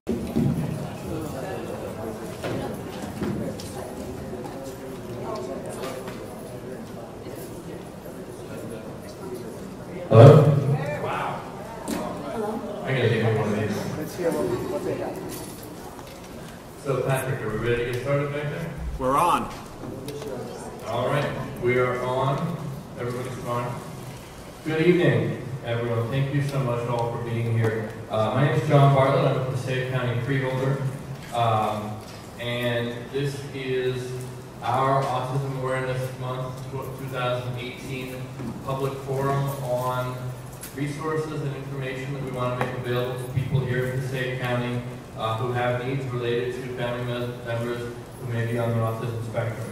This is something that I've been working on since I became freeholder six years ago. We've done a series of forums over the years. We've been able to work together with some great uh, community activists and leaders who you're going to meet tonight. We've been able to partner with the state, with law enforcement, in a whole bunch of different ways to make uh, not only this information available, but to make sure that the services that are available are getting to young people that need it. And when I say young people, you know, we're accustomed to talking about autism in the context of education, but to a greater and greater extent, we're now talking about it in the context of uh, young adults and of issues related to vocation and housing and health and independence and transportation. And you're going to hear from people who know about all that kind of stuff uh, on this panel. Uh, my role here is simply to facilitate, uh, as I've always believe, one of my most important roles as a freeholder is to make sure that people know the resources that are available and know where to go when they need a particular service and simply know that the service exists. So I'm here to moderate, I'm here to give you the opportunity to hear from these folks. For all of you who are watching us uh, online later, thanks for being part of this. We're going to try and get some links and other information there on the Passaic County YouTube channel, along with all this once we get it posted. And I just told Patrick that, so he's looking at me like, really? But uh, let me begin uh, by introducing our panel of experts. Our Passaic County Sheriff, Richard Berdnik, is going to join us in a couple of minutes. Um, in the meantime, I'm going to introduce everybody and then uh, go to each of you in turn and, and have us hear from each of you for about eight to ten minutes. The Passaic County Human Services Department can help families gain access to numerous programs and resources. Jenny Fletcher is the Director of Children's Behavioral Health Programs, and she's going to tell us about these programs and how to take advantage of their benefits and where to access them here in Passaic County. The state of New Jersey also provides employment assistance to Passaic County residents with autism and other special needs through the Division of Vocational Rehabilitation Services, or DVRS. This agency provides career counseling, training opportunities, and placement services. We're privileged to be joined by a representative of the State Department of Labor DVRS office, and I'm grateful to uh, the Commissioner of Labor for making it possible, and to Kathy Warner, who is here as a vocational rehabilitation counselor and pre-employment transition counselor located in an office right here in Passaic County in Paterson. Also in that vocation and employment space, we're going to hear from Beth Marmolejos, uh, who those of you who are in the autism community, her name is certainly very, very familiar to you. She's an incredibly effective advocate. Most important at this time from the standpoint of this panel, uh, she is a member of our Workforce Investment Board in Passaic County, and specifically she is the chairwoman of the Disabilities Committee of the Workforce Investment Board, or WIB. So we're going to hear from uh, her about the various employment-related services that come to you through WIB. Next, we're going to hear from another uh, both incredibly accomplished and effective advocate as a parent, but also someone who has literally uh, earned her PhD uh, in issues related to autism, and specifically issues related to transportation. Young adults, if we're talking about getting the job, we're also talking about getting them to work, and we're going to hear from Dr. Cecilia Feeley on that topic. We're going to hear from a whole bunch of terrific people from our Passaic County Sheriff's Office. Uh, of course, Passaic County Sheriff Richard Berdnik will be with us. Humberto Cuadrado is here on behalf of the Community Policing Office to talk about some of the ways in which the Sheriff's Office helps make sure the people on the spectrum can be safe uh, in their homes and in their communities. And and uh, we're also joined by by Detective Corporal Herbert Kiertzman, uh, who also has a great deal of involvement with Passaic County uh, Sheriff's Office services as it relates to people in the community with disabilities. So we're going to hear from both of them and the sheriff. But first, let's start back in Passaic County. And Jenny, uh, there's your microphone. Tell us what you're going to share. Great.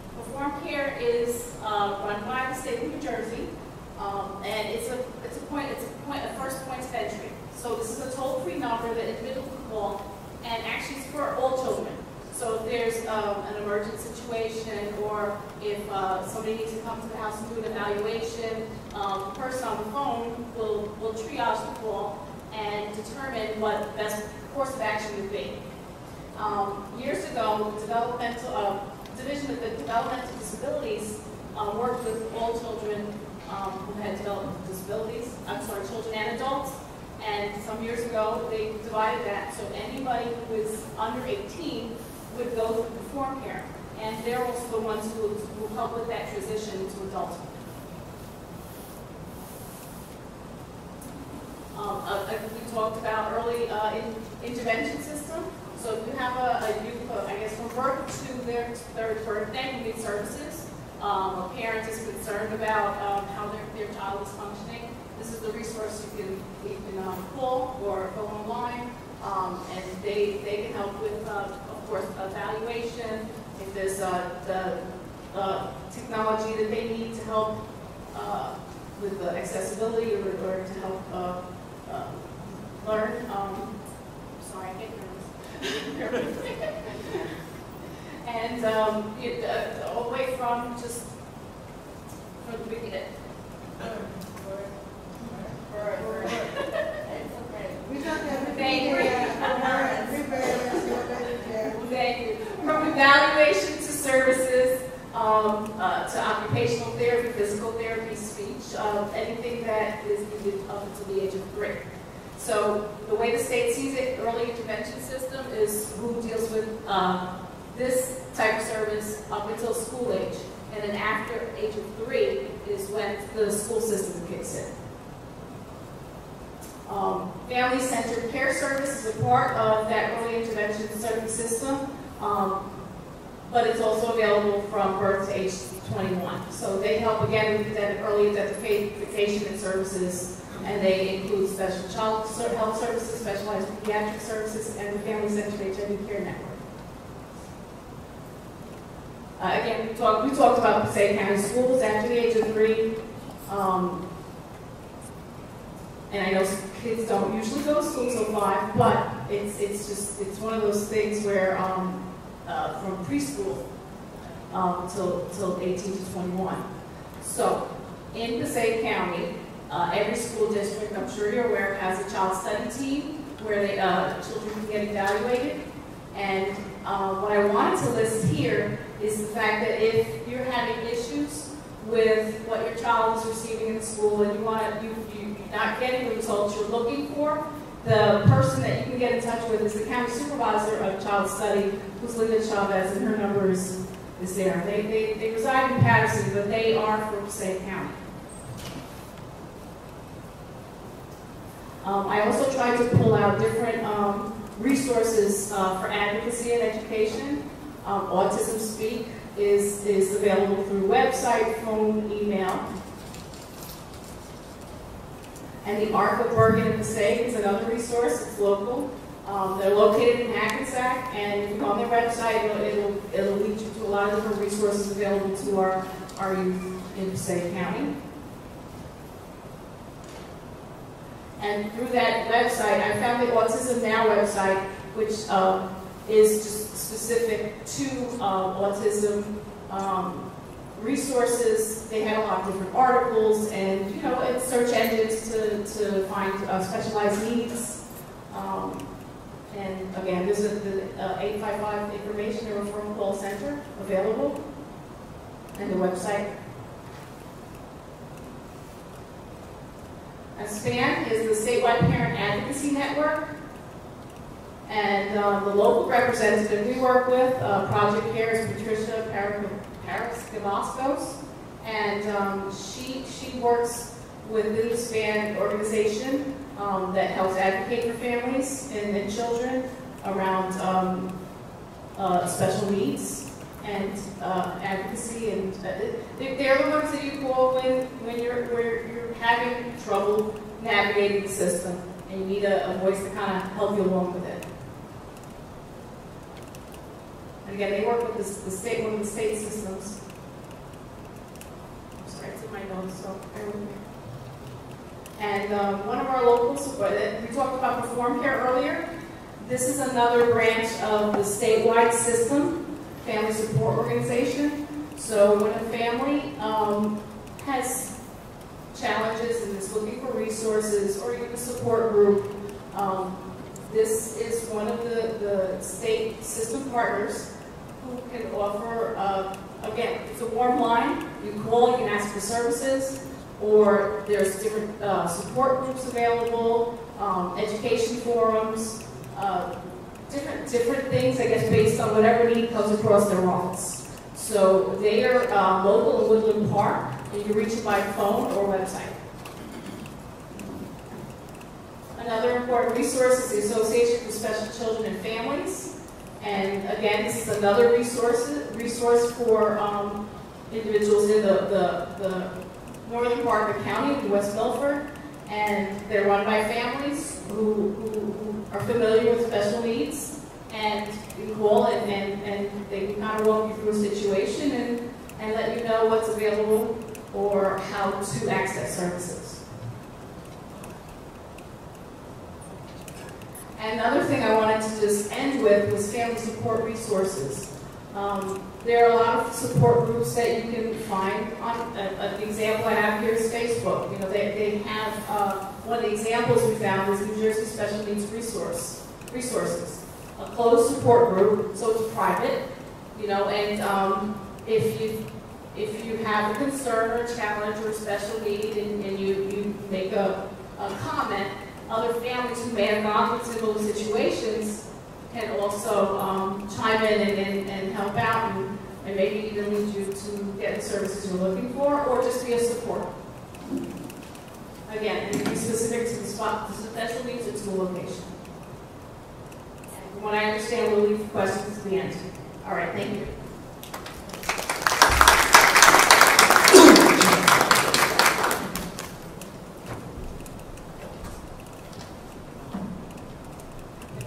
You so much. That was great. And I especially appreciated, and I'm sure everyone else did, the fact that you had the websites and the phone numbers and the email addresses up there.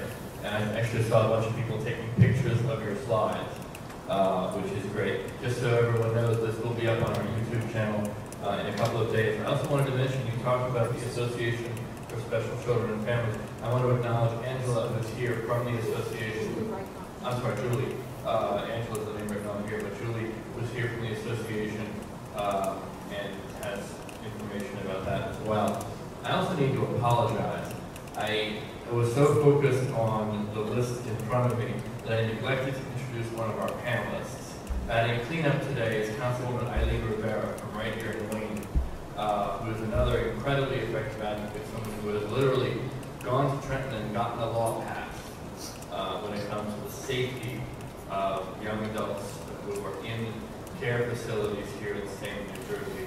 Uh, I apologize for the oversight, Wendy. Uh, I, I have you batting cleanup on this panel because I know you're going to have a great bunch of questions for the other panelists to start us off on our Q&A. While I'm doing uh, mea culpas, let me add also thank you to my colleagues on the Passaic County Board of Chosen Freeholders uh, and to everyone involved with Passaic County Community College and particularly here at our Public Safety Academy. Uh, Carl Padula, who runs our facility here, at the back. Thank you so much. Uh, we have, uh, for after the program, we have cake and coffee and some other refreshments in the cafeteria, which is out the door left and then right. Uh, if anyone here is feeling, uh, you know, that it's crowded or feeling that it's loud and wants to go ahead to the cafeteria, in the meantime, certainly feel free to do that, but everyone stick around for, uh, uh, for those refreshments. What I want to do now is move over into that vocation space and uh, sort of actually hand it off to both of you at once and, and reintroduce you again and then sort of let you each talk and even talk amongst yourselves. So we can talk about that. And that is um, Kathy Maurer from DVRS, the State of New Jersey Division of Vocational Rehabilitation Services. Uh, uh, the office located right in Paterson here in Passaic County. Uh, and Beth from the Workforce Investment Board, uh, uh, Workforce Investment Board Disabilities Committee. So, young adults with autism, vocation, um, go. Okay, I'm Kathy Maurer. I'm a counselor for Division of Vocational Rehabilitation Services, as Mr. Bartlett mentioned. We're part of the Department of Labor, and we're the part that assists individuals who have disabilities figure out where they fit in the job market, and then we try to help them get there. We work with individuals who have physical conditions, psychiatric conditions, learning disabilities, and also individuals who have a history of substance abuse, alcohol abuse. What we do is we take a look at the person's abilities. In order to do that, we first have to look at their weaknesses so we don't go in those directions. We'll sit down with someone and say, look, what do you think you want to do? And then we try to help them come up with a game plan to possibly do it so they may be able to go to work. As you know, many people on the autistic spectrum could potentially go to work, but they might need extra supports, and that's where our agency could come in. We can sometimes assist with job coaching.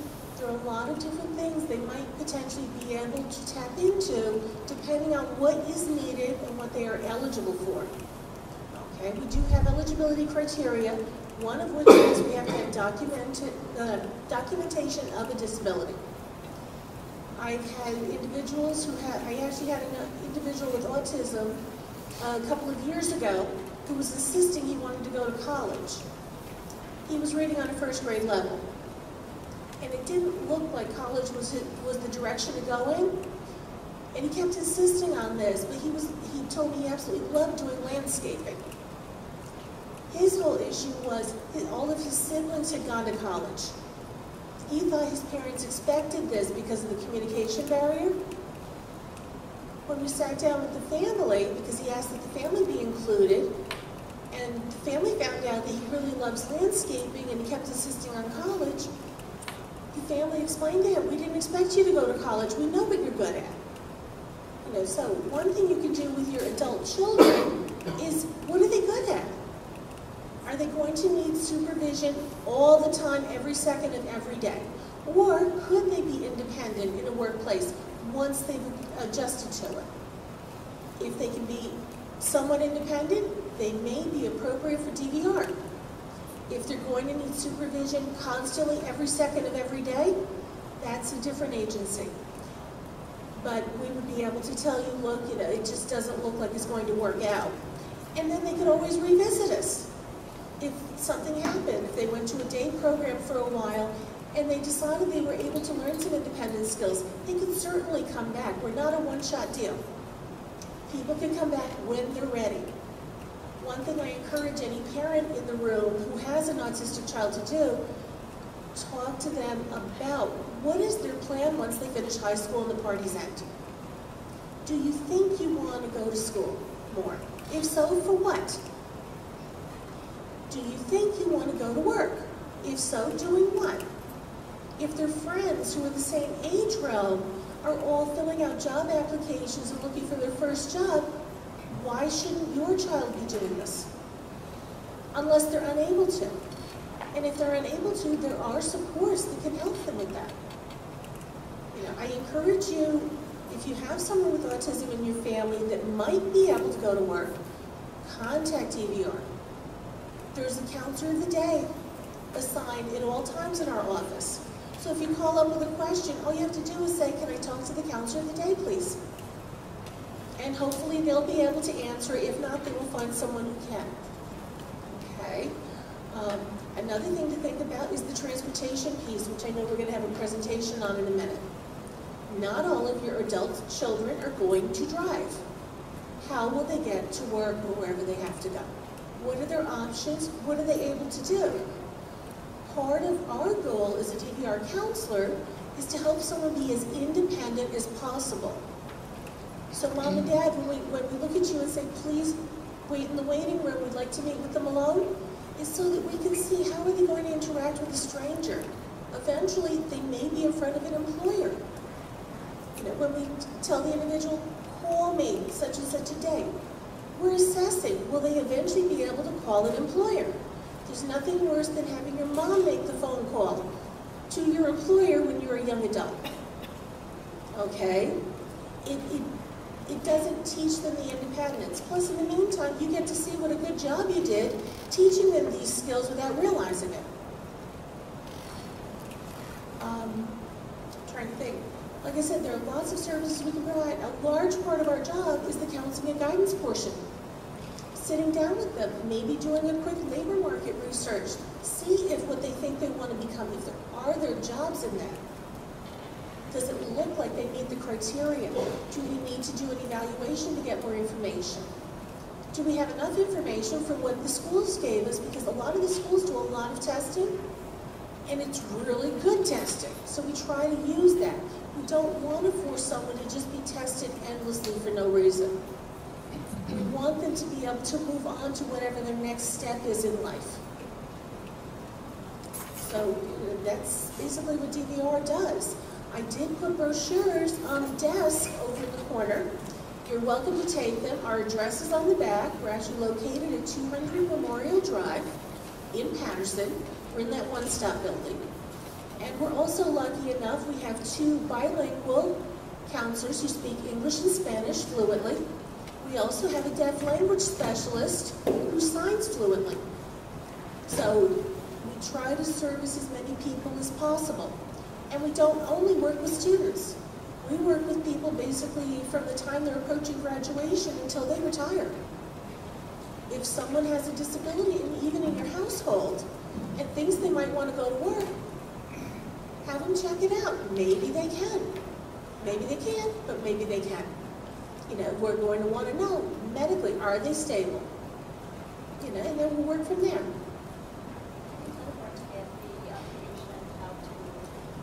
Well, you can actually get the application online, but if you want to get, hmm, I'm trying to think what the website is. I never use it.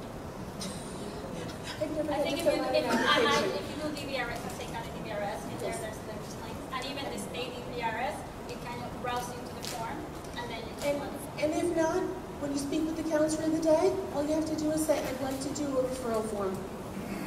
And a lot of your adult um, children will be referred to DVR through your school district, through your child study team workers, whoever they may be, because they know it's likely they're going to need additional supports when they go out into the world of work. They're not, unfortunately, they're not going to wake up one morning and everything's good. You know, everything will be good, but it's not going to be the way that they want it to be.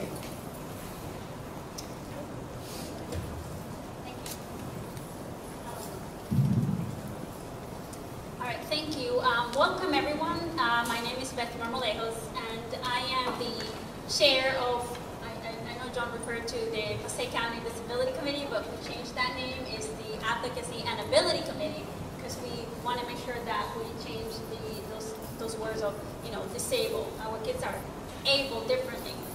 Um, so, so that's kind of the one thing. Um, I've been in this role for, you know, perhaps five, six years, and my journey started as the president of the Wayne Special Parents Association, and Cecilia Feeley, Dr. Cecilia Feeley, used to be my co-chair. So um, I think that the, the moral of the story is that you parents own the future, and not just the future of your child, but the future of every child that has a, a you know special needs. And when um, you see that there is a program that doesn't exist, um, it is up to us to, you know, make sure that that program uh, opens up in the area that, that you live. For example, we work on creating a, a special needs, uh, a Special Olympic swim team at the Passaic County uh, Tech. And we went to uh, John Bartlett, freeholder John Bartlett, and the other freeholders, and they made this the, the pool available for us. And the program was different. We uh, taught the kids, and it still continues to be, how to swim the first hour, for, because as you know, um, you know, drowning is the number one cause of death for our children because they're attracted. So we, we teach the children to swim the first hour, and then for if they want to go on to the team, they could go to the team. Um, then we also work with the uh, Passaic County Sheriff, and we introduce our children uh, to go to the Junior Police Academy a couple of days when there was not, you know, the, the dogs were there, the helicopter, the horses. So I guess what I'm trying to say is, you know, become active and don't give up. Uh, there is hope uh, as a parent. So yes, I am the chair of the, you know, the, the, the committee, the Advocacy and Ability Committee, but really I am a mother of a young adult who just turned 18. And, um, you know, you being here is the first step for your child's future. Because the more you are involved, the better off they will be. Because you're going to be able to equip them with the information and the tools that they need. Through the, um, the, the, the, committee, uh, right now we're working on a big project. It's called the Dare to Dream through the state, uh, the education department at the state level. In every county, they host this Dare to Dream, and they bring about 300 to 500 children from different school districts, and they host a full day of workshops. Uh, individuals that are special, that have disability, and are the speakers to encourage the children. They bring uh, agencies there to provide them with information. That didn't exist in Passaic County. So our committee work with, um, you know, the Work Development Board, so it used to be called the WEC, uh, uh, Workforce Development Board, and with one of our partners, which is the William Paterson University, now, praise the Lord, we have this workshop at William Paterson University.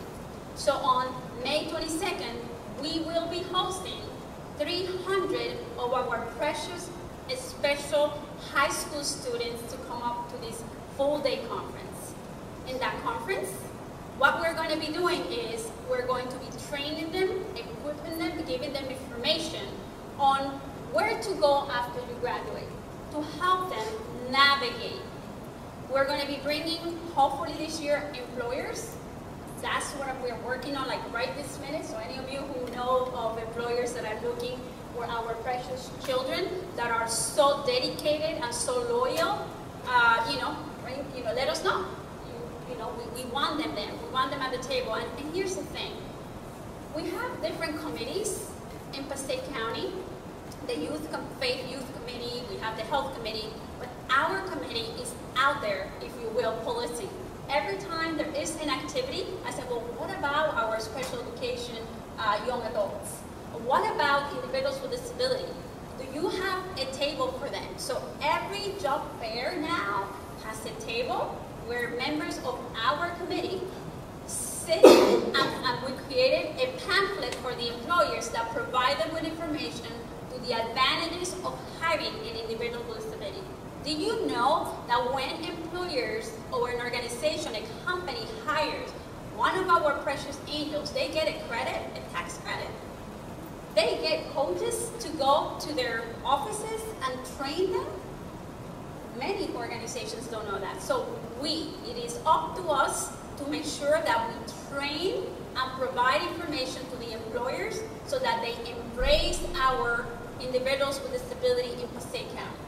We're starting small, so I don't want to give you like false hope here, uh, but, but we're going to go big. And it's one step at a time, and the first step is for you to be here.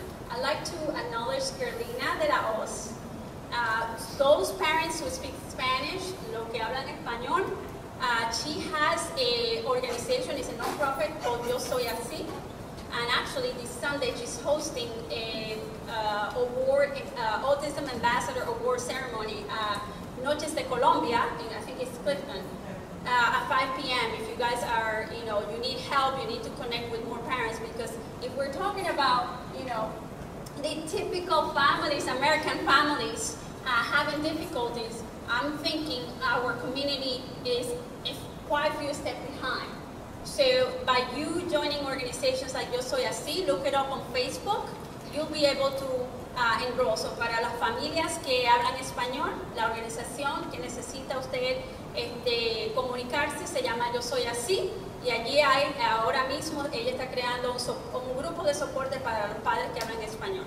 So I am happy that you are literally utilizing Facebook. And let me tell you, what people don't realize, and what I just kind of make our committee aware, the development board, so this is like the board for employment, when they host this job fair, let me tell you something, our families are not going. Our children can't even get there. Which is why I'm kind of fighting or you know working on bringing the employers to the Dare to. So many of the things that you do, sometimes you don't get that attendance. It's not because they're not interested. It's not because they, you know, it's not important. Sometimes, and, and this is a true story, when we opened up the um, uh, sports clinic in Wayne, you know, it was on a Saturday. We literally worked with the district, we worked with the uh, Parents Association, and we created the sports clinic that our children, it was, it was really customized for our children. And parents weren't going there. I'm like, well, why is that? And one of the mothers came up to me and said, Beth, I'm so tired. By the time I get home or, or Saturday comes, I don't have the energy to get there. I don't have someone to take care of my other child that also has a disability. So attendance is not a good measure of success for our community. Broadcasting is a perfect method of getting to them, and I truly, uh, Freeholder Bartlett, uh, commend you for, for, for doing that, because this is going to get the information out there. And by the way, you know, Freeholder Bartlett is, is been a champion, and he's authentic. Uh, he's not there for the votes. I, am telling you that because of all the things that I just mentioned to you with the you know, swim team, and many other programs that, that he has helped us in, including Soy Así. Uh, he's always present, and also uh, for um, whole uh, the, um, what is it called, his organization? Autism Radio, he's always present. So it's something that is dear to him. And all the people that are here, every one of us, you know, we're here to provide you the information. We are advocates. We're working specifically, Linda Chavez, the um, supervisor, the, which is at the county level, is part of our committee as well. So, so she's amazing, she's wonderful, and many other organizations, you know, like the transportation, so Rutgers University is at the table with us, uh, DIAL is part of it for independent living. So we're working for you. Uh, if you have any questions, I'll be happy to you know, answer them then. But the message and the last thing that I wanted to, to leave you with, you know, don't give up. There is hope. don't let anyone tell you what your child can or cannot do because miracles do exist and I've seen them on my child who has gone from meltdowns, me not be able to control him, to becoming an independent adult, working, okay, he went to his interview himself, uh, driving. Uh, so miracles do exist and our children are nothing but angels. And uh, when you provide them with love, you'll see the change and it will be a, a positive change in their behavior and their future. Thank you.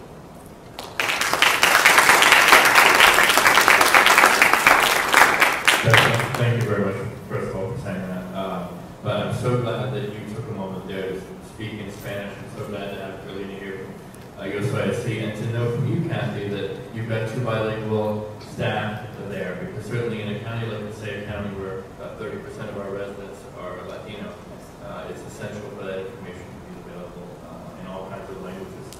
So we're going to turn a corner here and talk a little bit about transportation. That wasn't meant to be a pun, but it worked out really well.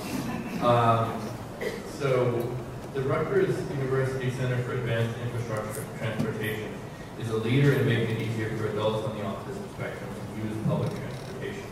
And that's one of the real challenges. And I'm sure any of you who are out there in the workplace know 90% of jobs in New Jersey require a job require a car to get and even for those that don't, the dilemmas of using public transportation, of using even uh, uniquely dedicated transportation like our Passaic County Paratransit Program uh, are challenges for people who are on the spectrum. Uh, and Cecilia Feeley has made that her life's work and her study and has earned a doctorate degree uh, from Rutgers working specifically on this issue of transportation uh, for young adults on the autism spectrum. She is the Transportation Autism Project Manager at that Rutgers University Center that I spoke of. And Cecilia, talk to us.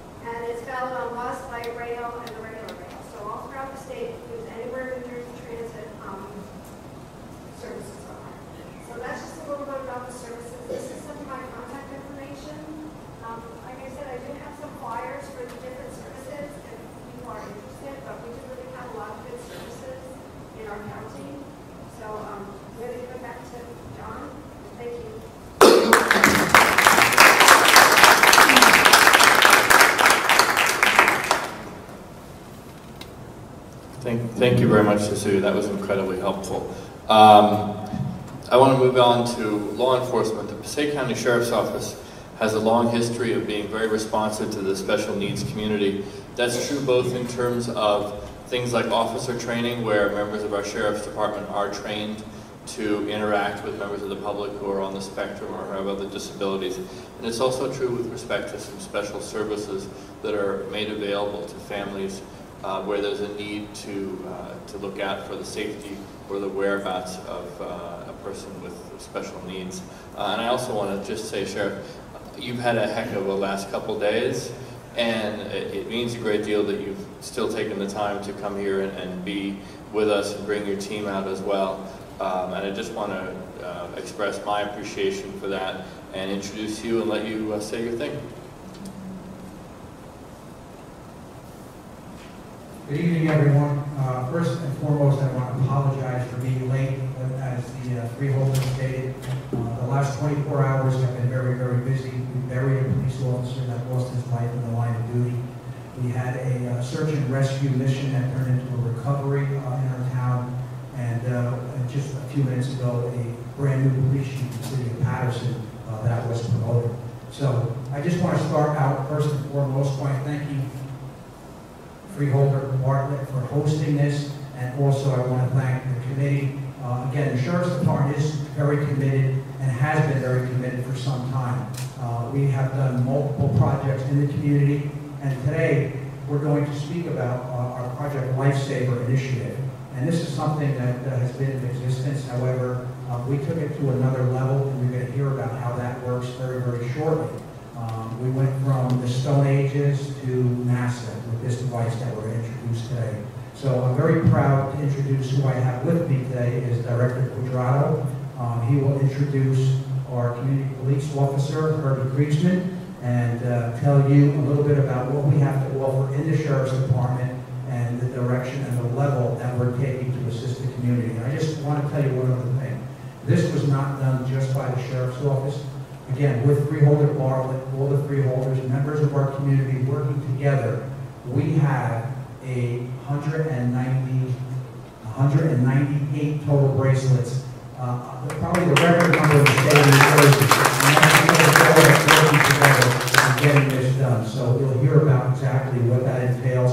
And I think uh, it's very, very important that we spread the word. It's going to be unfortunate only that number until, of course, uh, we're able to replenish but you're going to see really how great a device this is, and again, how proud I am of the officers that are running that program. Thank you. Thank you. Just want to let you know that the sheriff is committed to the community. He's, he's with this program 100%, and I just want to give him a round of applause for that. Uh, Project Lifesaver was uh, started in 1999. It's a non-profit organization, and the, the uh, it started in, in Virginia. And we have a presentation today that we're gonna show you, and we're gonna explain the, pro the program. Uh, uh, back in those days, it, we had the RF program, which it was a roaming device, that it was harder for us to find a person that was lost. But now we have a new device, which is uh, digital and the GPS. We're gonna explain that to you. I'm gonna have uh, Herbert Christian, Detective Christian, to uh, start the slideshow, and we're gonna have the presentation so you guys can understand the program and how it works.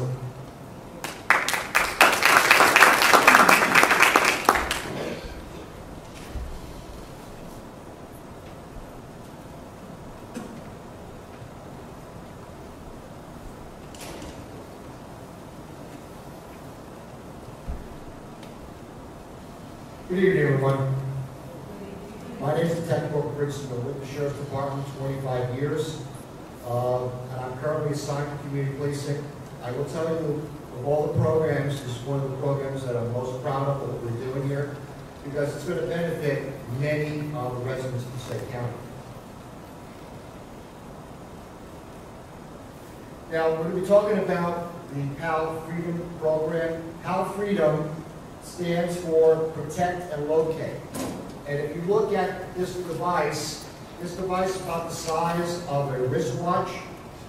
It'll be placed either on the wrist of the child, uh, or we can actually put it on the ankle of the child if it's too big. And again, it's a device that's going to revolutionize uh, the current program that we have now. Our current program is known as the RF program. It is antiquated, um, and it's antiquated because the device has a roaming frequency only. There is no GPS, GPS that's involved with it. However, it was very effective, and it still is very effective today. Because we have a special device that we use, we're able to locate the individual utilizing a six-digit frequency, a number that's given to them personally, and it's on the device, so if they go missing, we're able to locate them. What you're looking here now is the PAL Freedom device. It is basically, it comes with a receiver, it has a base station, basically, which is used for charging the device. It's no longer, it, it's actually giving caregivers a little more accountability and a little bit more responsibility in order to help their loved ones. Um, again, the device comes with a receiver, which the caregiver is given, and it's basically that receiver which alerts the caregiver if there's a wandering tendency, along with the device. And what's great about this, it is GPS as well as RF frequency. So basically, an any smart device, if there's a tablet involved, if you have a PC, you'll be able to find your loved one utilizing this device. And all you need to do is go on to the portal that uh, is provided with the device. We, at the Sheriff's Office, we register the device and we activate the device. So the only thing that has to be done is that the caregiver has to register it with their email as well as their telephone number, their cell number, and they're good as gold. They're ready to go at any time.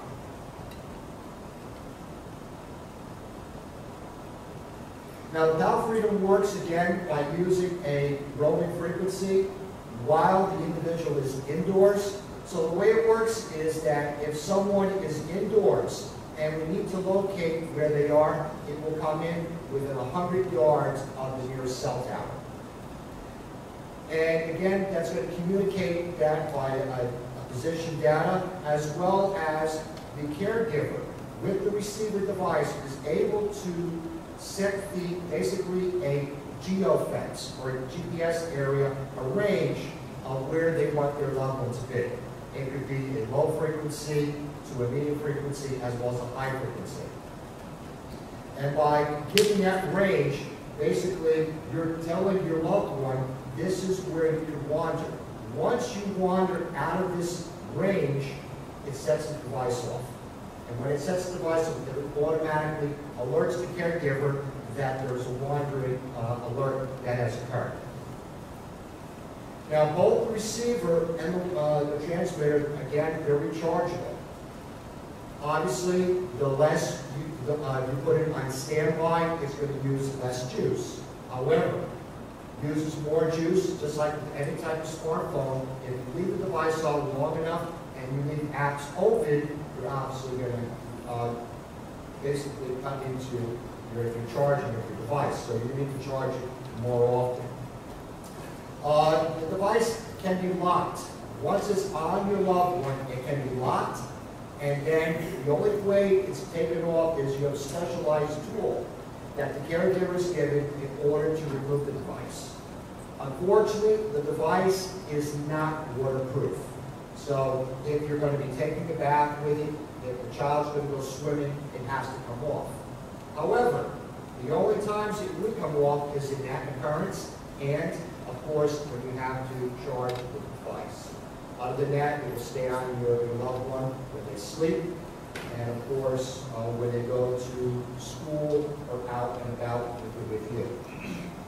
Now, with the smartphone device, as I said, you'll be able to access. There is a portal that you'll be able to go on utilizing Google Maps. And what's great about this device is that you're able to set what kind of map you want to look at. So it could be you'll be looking at a Google map. You could be maybe you want to use a satellite view, or they also provide a hybrid. So that this way you're able to locate the individual outdoors.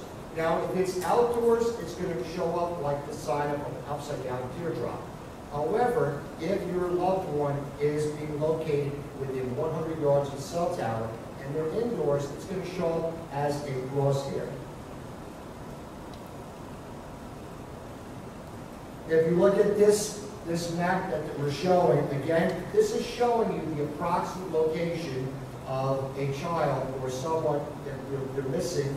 And remember, it's going to go according to the cell ID site, and it'll be within 100 yards. This is showing you the GPS location. And with the GPS location, it's going to show you the exact location of your loved one. Again, these are all available once you go onto the app. Now, as I said to you before, you can access your loved one through a combination of different maps that you'll be able to utilize. Now, with the advantage of using PAL, within 10 minutes, and this is, of course, this is given to all the recipients who become involved with the new PAL program, and this is going to help you with us as well trying to locate your loved one. That if, in fact, you are unable to locate your loved one within the first 10 minutes, there's a wandering tendency and the alert goes off on the receiver within 10 minutes uh, that you're not able to locate them, you'll be able to call Passaic County Sheriff's Office, our dispatch office, where they will also have access to Google Maps and they will be able to find exact location of where your loved one is with the GPS and within 100 yards of, uh, of the nearest cell ID. And once they do that, we'll be able to dispatch an officer right to the location of where they're located. Now, obviously, if they're out of county and they're at another school, you'll be able, again, you'll still be able to contact the sheriff's office, but they'll be in direct contact with the uh, local PD that is there, and again, they'll be able to find the exact location of your child. So it's a, a great fit. It's going to help, uh, again, it's going to help many of the residents that are here in Passaic County. Now, what's great about it is, is that this program is being offered free to county residents with wandering tendencies. Now, tonight, it's about children with autism.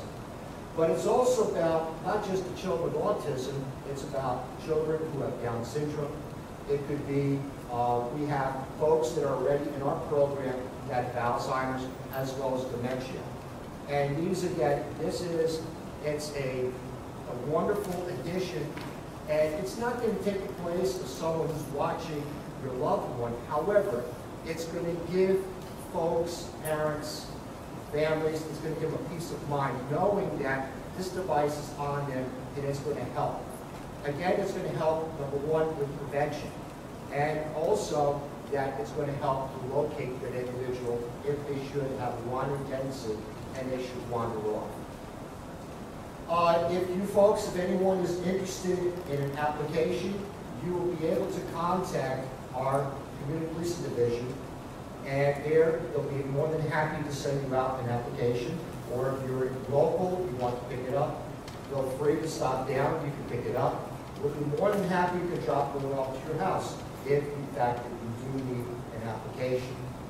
Now again, once the application is completed, again, there are, you will have to be placed on the list for consideration.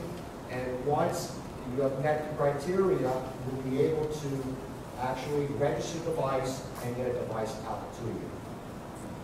Now at this point I'm going to show you a video that shows uh, Project Lifesaver in action.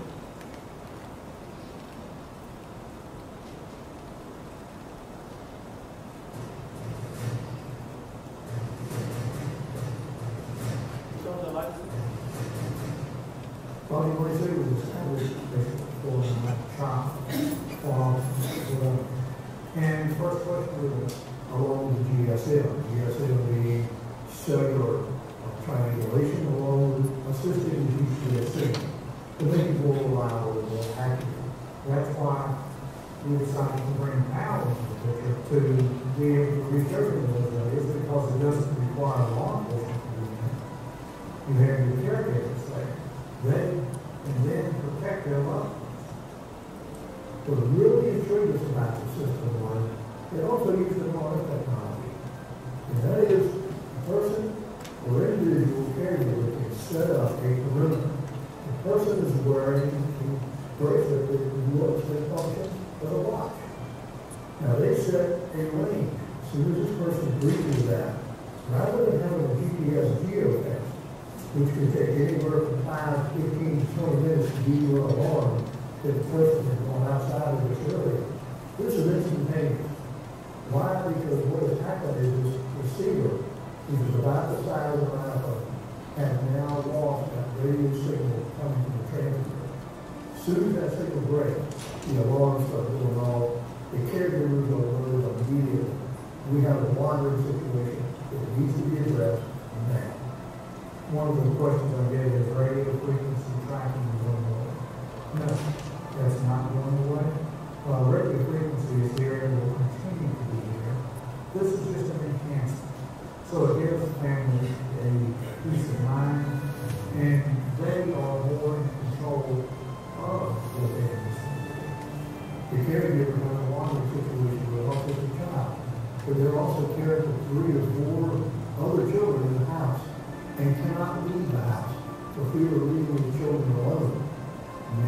can notify the sheriff, the police, or whoever, or if the sheriff or police are tuned into that, they already know there's a violent situation, and they can respond to it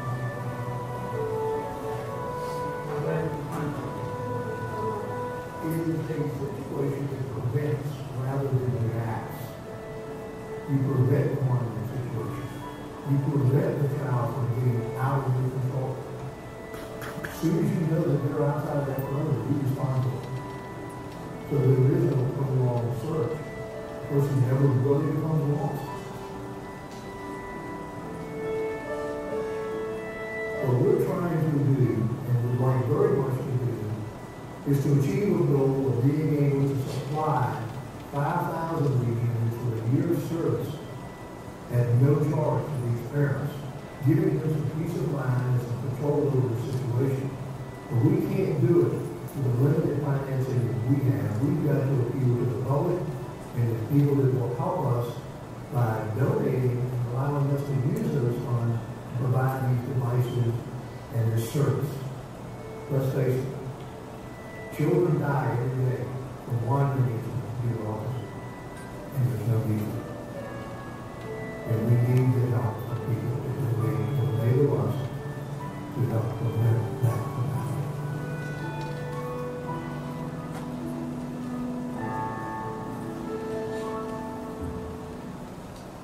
Incidentally, we have this time, we have 35 participants are, that are still involved in our RF program. And currently, with the new device that we have out, the new PAL Freedom, we have currently 33 individuals who have uh, started the program with the PAL, uh, PAL program. And we're very, very proud of this. Again, uh, it's all about your family members. That's why we're there. That's why we do this job day in and day out. Again, on behalf of the St. County Sheriff's Office, Sheriff Richard Berdnik, we'd like to thank you for listening to our program, and we really look forward to working with the residents of the St. County. Thank you. Okay, as as you guys saw in the video, it's so relieving to know that somebody's out there. You know, somebody that goes missing. Thank you. Very exciting. Very- Thank you guys both very so much. That was fascinating. Um, so, rounding out our panel this evening uh, is Councilwoman Eileen Rivera, who represents the Fifth Ward right here in Wayne. Eileen is a parent and is one of three people who was able to get the Thomas Komninos Law passed in Trenton uh, and signed into law. Uh, that law protects people with developmental disabilities from abuse. And that was an incredibly important issue for Eileen for reasons that she's going to explain to you. She's an incredibly effective advocate uh, with a strength and determination that really made a major difference with this accomplishment and is making a major difference in a lot of different ways. Um, so Eileen, uh, without further ado, we want to hear uh, about the Komninos Law, but really about uh, everything you've learned through this process about being an effective and forceful parent advocate uh, for young adults on the spectrum.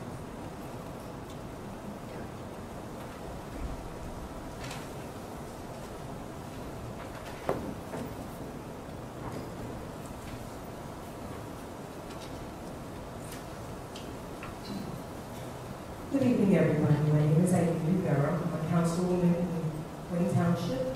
I'm also an advocate and a mom. Um, My son, Daniel, has autism. He lived with us till the age of 21, and my husband and I decided it was in Daniel's best interest that he live at a living arrangement. Um, Those of us who have children with autism, some of them have behaviors and they're duly diagnosed, so my son was not able to live with us for a while. Um, so when he moved from our home, he was, we lived in three different arrangements, living arrangements. One was a group home, he was hurt and abused there, he lived at a developmental center, he was hurt and we had beyond recognition there. Then at a supervised apartment, and, um, he was smacked by a caregiver, and, um, just got to a point that I said, you know, we can't keep on like this, because at the rate we were going, my son was gonna be handed to me in a body bag. Um, and that's the biggest fear of every parent, of having your child. Your child, you know, your child has autism or you know, disabilities, they're vulnerable. They rely on people understanding them and accepting them and helping them.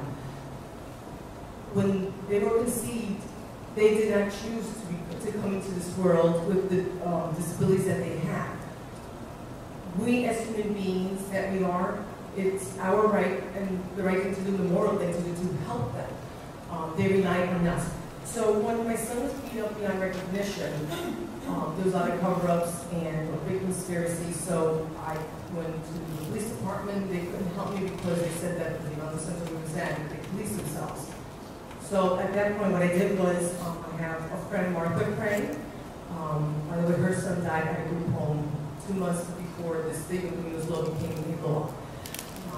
We started advocating. I went um, at one point to uh, Trenton, and there was the Tara O'Leary law.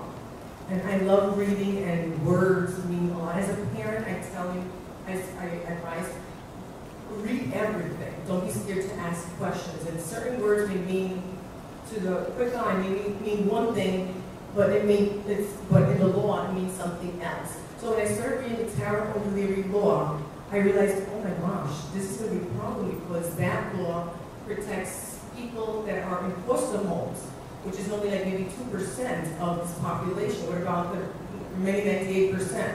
So I went before the legislators in Trenton, um, asking them at that point for them to please insert only ten words, that's all I wanted. And then they, they could please insert ten words for it to provide protection for all developmental disabled, regardless of their living arrangements. Sadly, it was not voted with those words in it, and it did crush my heart. Um, so from that point on, I said to my friend Martha, we need to work on a law um, that will protect all of that. So we started um, lobbying, um, going to hearings, um, and advocating, and then we got this bill, well, law, we got it with the wheels in motion.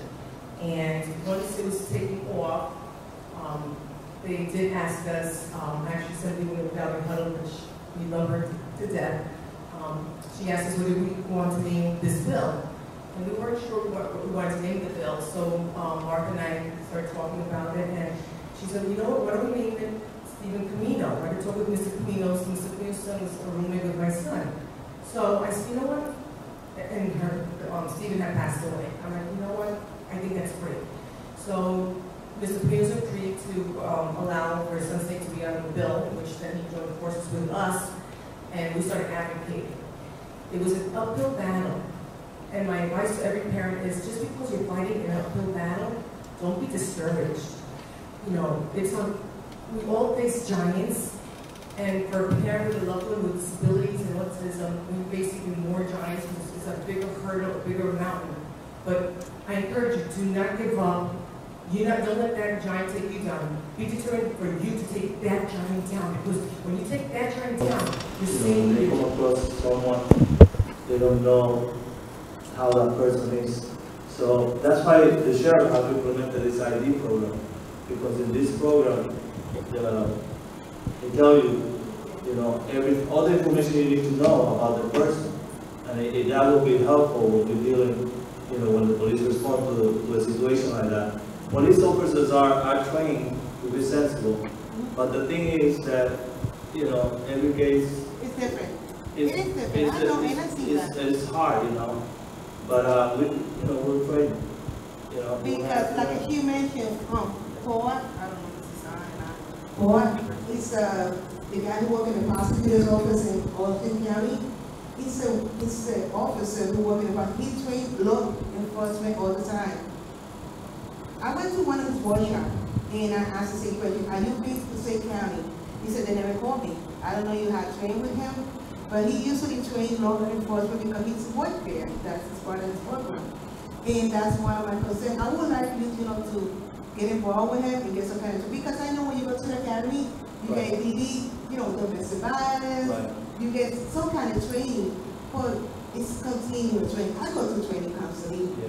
you know, and this is something that is part of the community, and I also spoke to Chief Post, the Chief Department of Little Force, and, um, and he also get involved because he been to the walk, and he be involved, I've been to a lot of workshops, I've been involved in a lot of, um, activities, but the law enforcement, I haven't asked him, and this is my first time ever. That's why I came to this workshop, because it's something that we have to get involved, and it's good that you can go to different municipalities, it's good you can go to different districts about that, about what you have right now.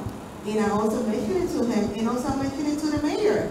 I said, what are you doing for our kids? You know what I mean? You have a, a recreation program only for typical kids, but what happened to our kids? I know you had the swim team, you've been here for years already, but we have to create something different for our community. Can I add something? Yeah, please, Jim. I just wanted to, um, just add that, I don't speak for the prosecutor's office, but, um, we did, our office did work with them, um, in the fall to try to help, uh, officers, and I don't know how many we, we were able to train, but it was, um, working with individuals with special needs. So they did try to teach different techniques and what to look for, and not to treat every situation the same.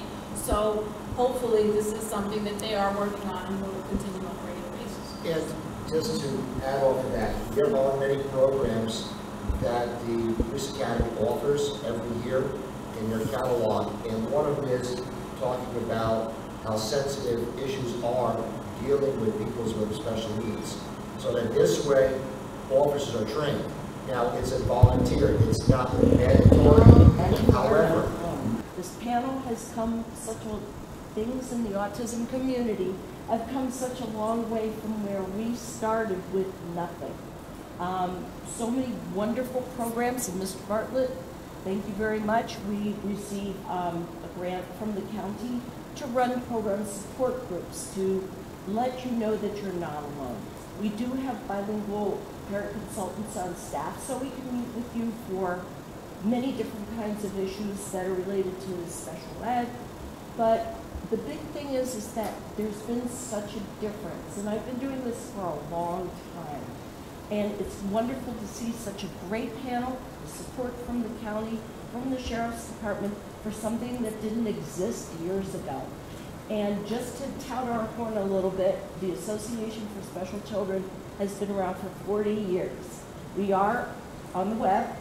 Um, unfortunately, Jenny's information was a little off. We, we've moved, but we're in Hewitt, so we're in the up county, excuse me, the up county area. So we do serve all of Passaic County.